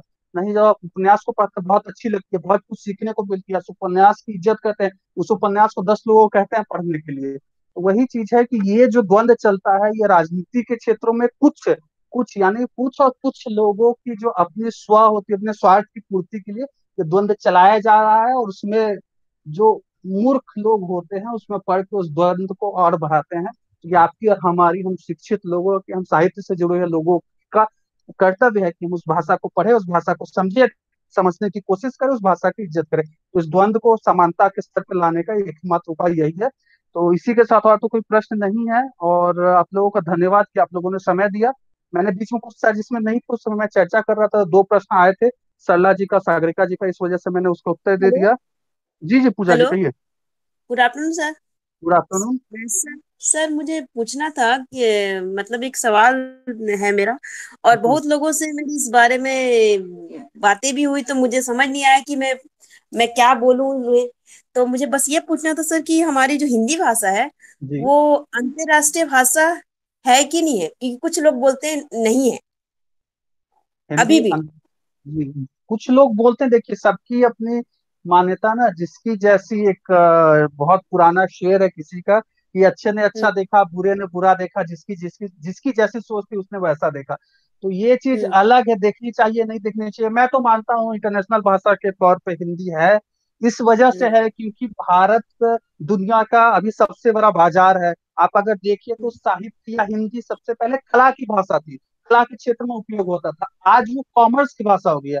यानी कि आर्ट्स से आगे बढ़ के वो कॉमर्स क्षेत्र में चली है। उदाहरण के तौर पर देखिए जितनी एडवर्टाइजमेंट देख लीजिए, कोई एडवर्टाइजमेंट यहाँ पे भारत में आकर के पूर्णतः इंग्लिश में एडवर्टाइजमेंट अपनी बनाए और आपके जितने भी आप टीवी चैनल देखते हैं, क्या उस एड को इंग्लिश में डालता है? कभी नहीं डालता है।